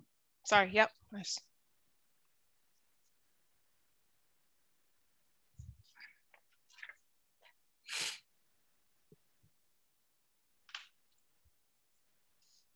And I'm going off of my hard copy, so Dee, whenever, Mm-hmm. or Jackie, you guys can just tell her to scroll up whenever you need. Oh, okay, because I'm I'm reading mine off of my tablet. All I right, so couldn't Dee, print it just let her know when you want to Yeah. go move forward.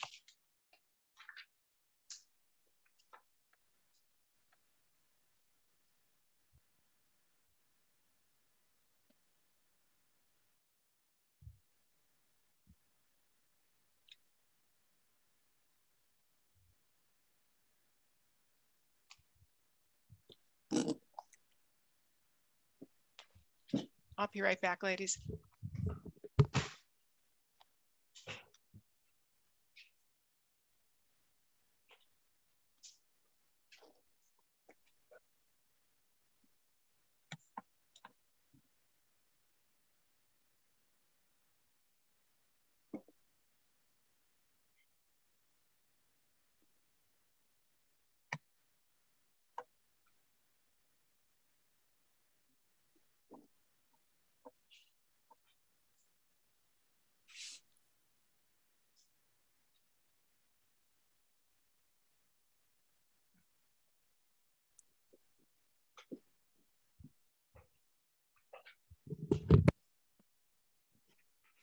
Four thirty and we closed to the public, had to make sure our window was closed. Okay.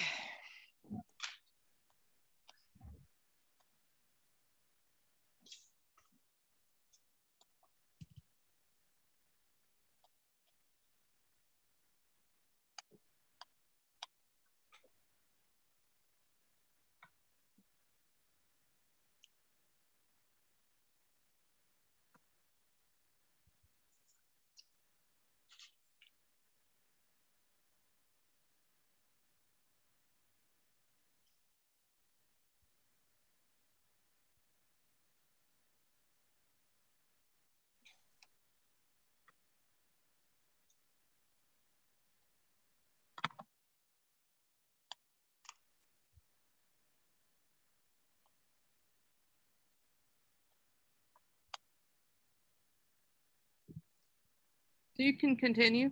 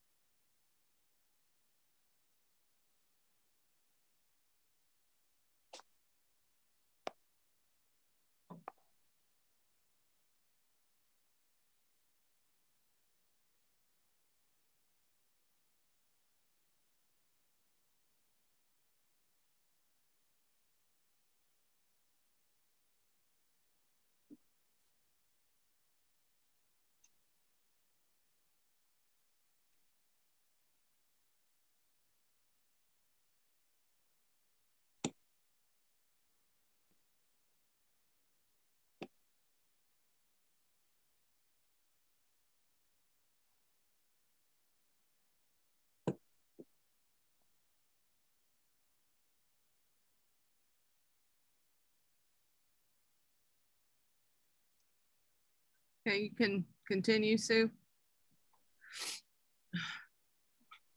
Did you read, did you get the last paragraph or no? On this page or the next page? This page here. I think I may have cut it off, so just let me know.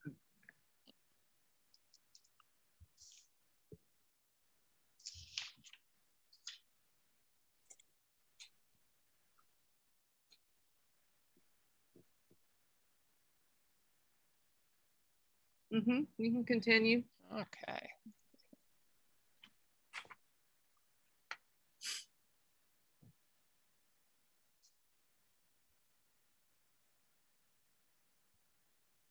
Bonifaz is spelled um, incorrectly there. Oh, it is. Uh-huh. Yep. Should be an I.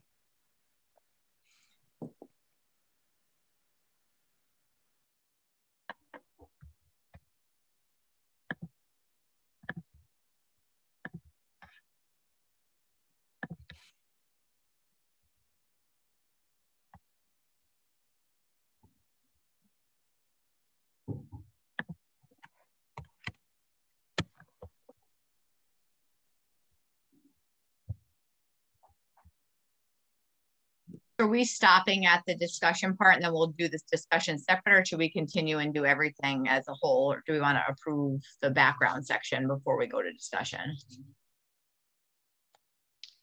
I think, I think unless it's an objection, we should just keep going. Sounds good. Sounds good to me too. Okay, you could advance up, Sue.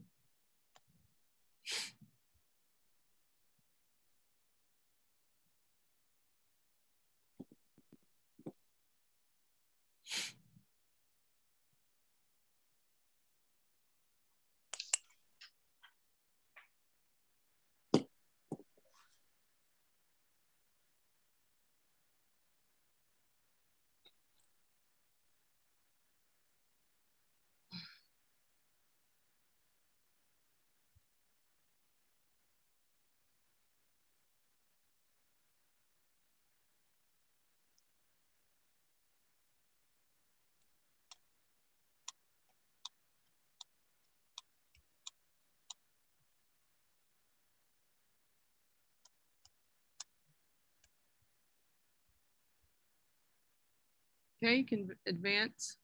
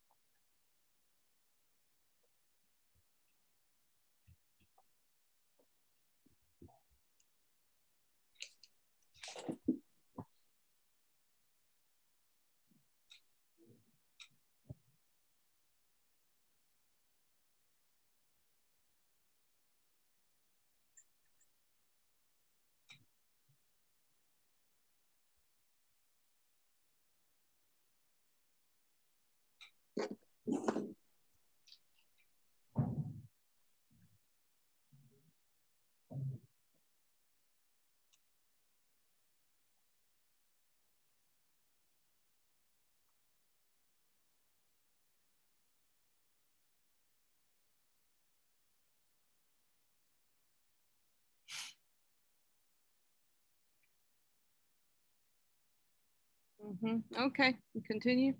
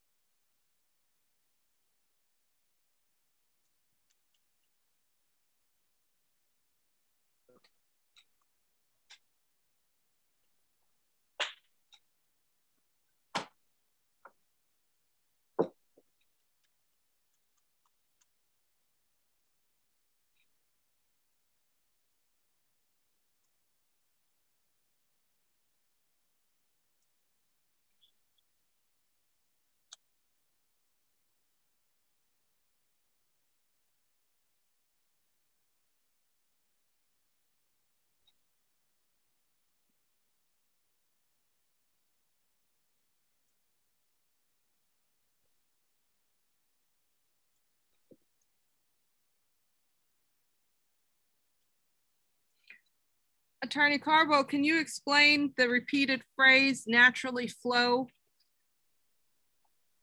from the board's discussion? Yes, uh, thank you through you, Madam Chair. Um, so the, the idea here is that the meeting notice has to describe the topic that the board anticipates will be discussed. And within that topic, the board can discuss anything that is related to or naturally flowing from that discussion. So in this matter, the purpose of the meeting was to discuss the objections and the appeals that had been received. Mm-hmm. However, as part of that, um, an objection was made that that discussion should be postponed until after the discussion of the open meeting law complaint. And so, in that respect, the open meeting law complaint was intertwined with the substantive discussion of the objections. And everything that the board discussed, at least as I observed it, was within the context of the objections and whether or not the board's discussion should wait until after the open meeting law discussion took place. Mm -hmm. Thank you.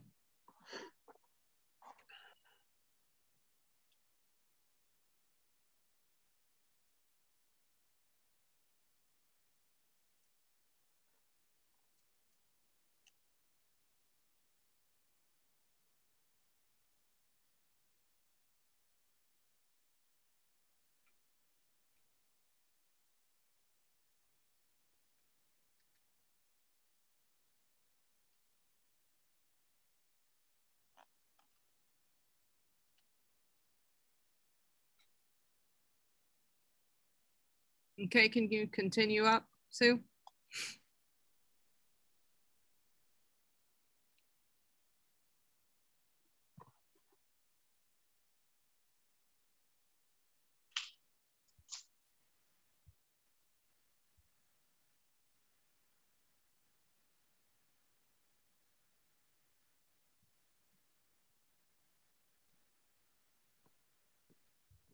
Attorney Corbo, do you feel if there's any reason to mention in just to keep us on point um, in the conclusion or anywhere that we agree to do the um, you know open meeting law training or anything like that, or do you feel like it's just not necessary to add that? Um, I would defer to you um, and the board, Madam Chair. If you wish to include that, um, I don't think that it's harmful to the the board's position to do so. I Guess that would be the only thing for you guys that I would ask if you feel like we should add it. I mean, I I know that if I agree to do that, then I'm gonna do it. But I know how sometimes things will fall through the cracks, and if it's in there and we it's in writing, that we'll just sure that it gets done. No, I I agree. Um, I have a question as to why on this last paragraph, May 4th meeting, um, so all, I mean, all the other meetings are referenced except the April 21st two minute meeting um, and available on YouTube. Is there a reason why that's not included there? Attorney Corbo? Yes, through you, Madam Chair. So in this section, we're only discussing the board's discussion of the May 4th open meeting law complaint. Mm-hmm. And so the May 4th open meeting law complaint was not discussed at that prior meeting in April. Um, and so the point of this is to, to demonstrate that um, there's a video of the discussion that took place on May 7th and a discussion and a video of the discussion that took place on May 10th.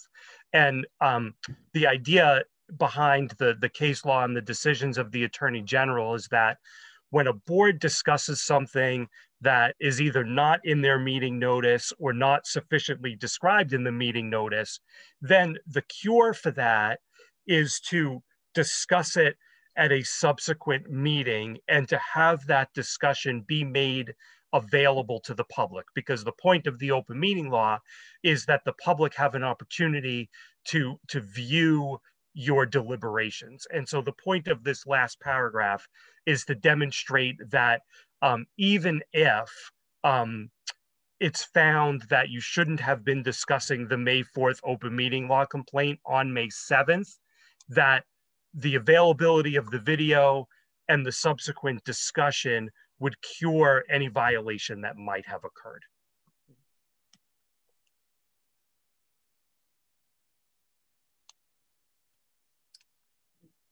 But, but that being said, if there is a video of the April 21st meeting, um, I would be happy to, to provide that as well. Thank I just you. wouldn't put it there. I would put it somewhere else. Yes, please do. Hyperlinked within the letter or however it's it's to be added. Okay, um, through you, Madam Chair, to the town clerk, do you know if that meeting was recorded on the 21st? And if so, is that recording still available? Uh, as far as I know, it still is. Yes. It was available a couple days ago because I reviewed it. Ah, very good. Okay. Sue, can you send me that? Sure. Thanks. Um,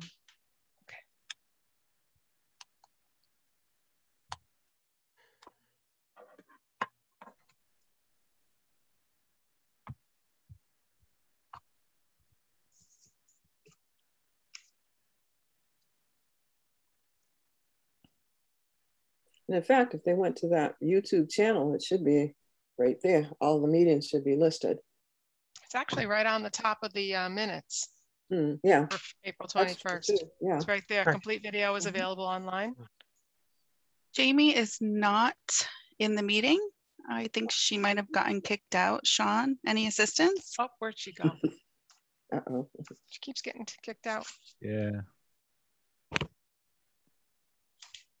Just checking to see. I do not see her as an attendee either. No, she's she got kicked out.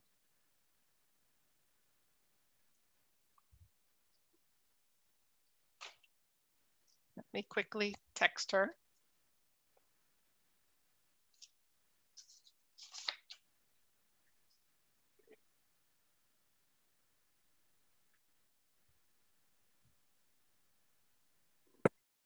Like she's coming back. Oh, there she is. Okay, she beat me. Sorry, guys, I'm back. Apparently, I just it, it's hit a threshold and it just likes to kick me out every time. Okay. Um, okay, so Jamie, I don't know where you um, cut out, but we we are we're all in agreement that I will include a link to the April twenty first, um, the a link to the recording of the April twenty first meeting. That sounds good to me. Thank you.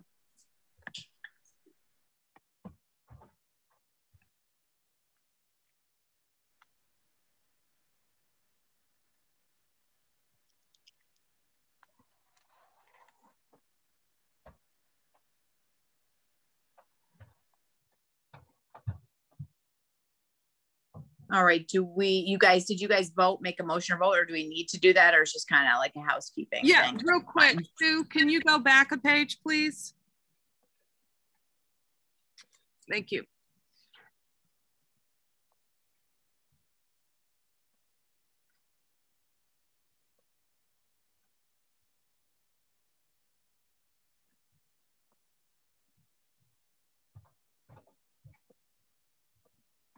So I just noticed, uh, Attorney Corbo, in your summation of these uh, different meetings, that um, it does not include um, any reference within your summations to, um, you know, making April 21st is also a remedy a null and void.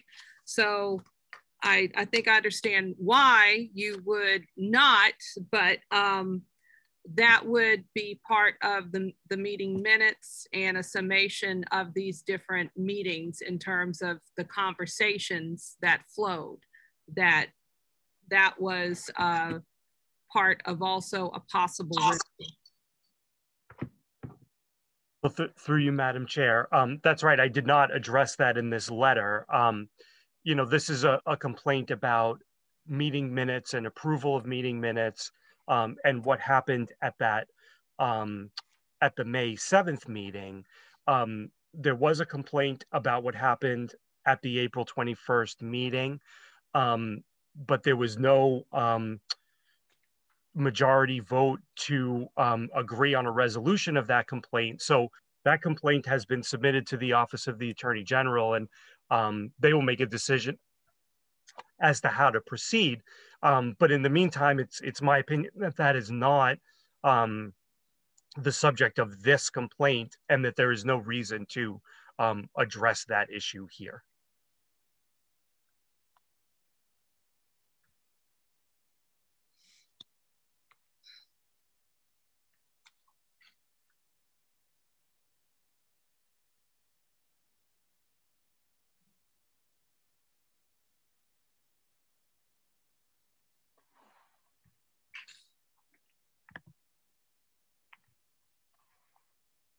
Does anybody have suggestions on wording of in the conclusion to add um, about the the review of open meeting law trainings, or is there a good way to kind of state that if we want to add it or if we don't want to add it? Uh, Madam Chair, through you, if I could suggest in that um, last paragraph, um, uh, Sue, can you scroll up to that? Yep. So in the conclusion, um, I, I would say that um, in addition, the board intends to pursue open meeting law training through an approved program. Personally, oh, um, I think we just leave it the way it is. Because um, we because there were other like other trainings and different things of that nature. I I just don't see it. I mean, it's I, I, I just don't see it in that personally. I mean, I'm not objecting to it, but I just don't see any added value that it's given it.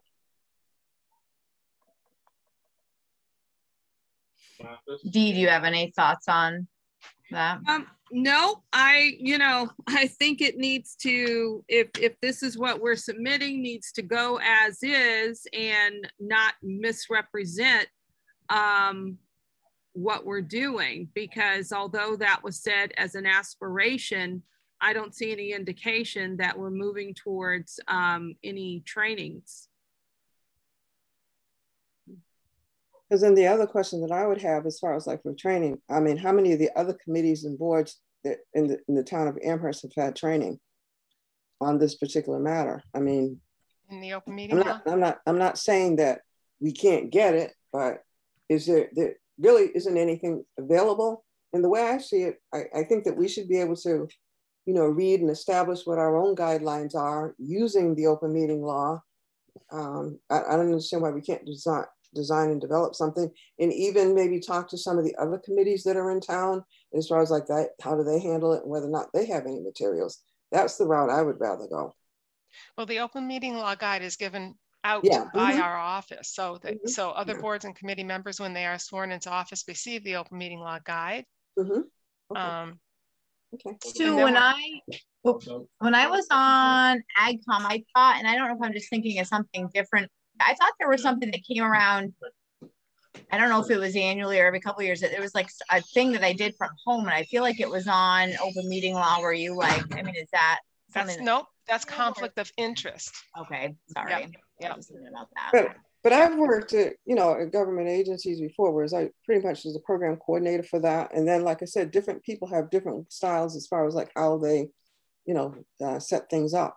So, you know, be up to us on how we want to do it. Because again, I, you know, and even like when people were talking about as far as like how the, um, um, I know this, I'm sidetracking, but as far as like when you look on the website, I have not seen any committee that um, that was announced for an, for a meeting for for as a, as a layperson where I can sit down and understand directly what was going on with that.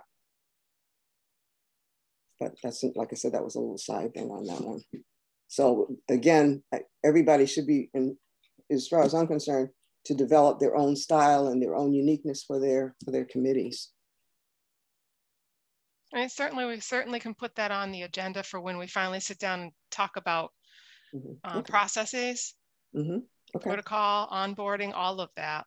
Mm-hmm. Yeah, I think it's important again in our position as board of registrars, um, which is supposed to be transparent and democratic, um, I would appreciate more training instead of less. And, um, you know, to go through our roles and responsibilities as a board of registrar. I that is important. Also, we were given we were given a lot of stuff for that. Yes, I know, but I think it warrants discussion regarding uh, interaction with uh, mm-hmm. the town, the charter, petitions, etc. We need to go through scenarios. Again, mm-hmm. protecting the vote and yeah, I hear. I, I, hear you. And that's why I like to read and get all that, you know, materials down and try and figure out where I'm going. Well, I, I that, that was one of my first things as far as like, I digress for a second. Yeah, we're digressing. Like, let's, let's stick to this for now. No, I, what, I'm, what I'm saying is this, Dee, excuse me. Mm-hmm. But as far as like when you took your job, you should have taken mm-hmm. it responsible enough to accept and read the materials that you were given. Mm-hmm. That's all and I'm I, saying. I did. I did. So okay. again, which included the open meeting law. Um, thank you, Jamie, for making that suggestion. But um, I may be in uh, agreement with Jackie here in that unless we are going to um, stick to uh, these trainings and actually incorporate them into um, Board of uh, Registrars uh, procedures, I would not want to misrepresent any remedy that is not actually in place with the Board of Registrars. That's all. That sounds acceptable to me for sure. Um, so I'm going to make a motion to accept Attorney Corbo's letter as presented to submit to the Attorney General's office. I second it. All right, with a second, let's take a vote. Um, Jacqueline Gardner. I'm in favor of accepting the letter as is. Sue Audette. Affirmative. Dee Shabazz. I abstain. And Jamie Wagner votes to accept it as presented for submission.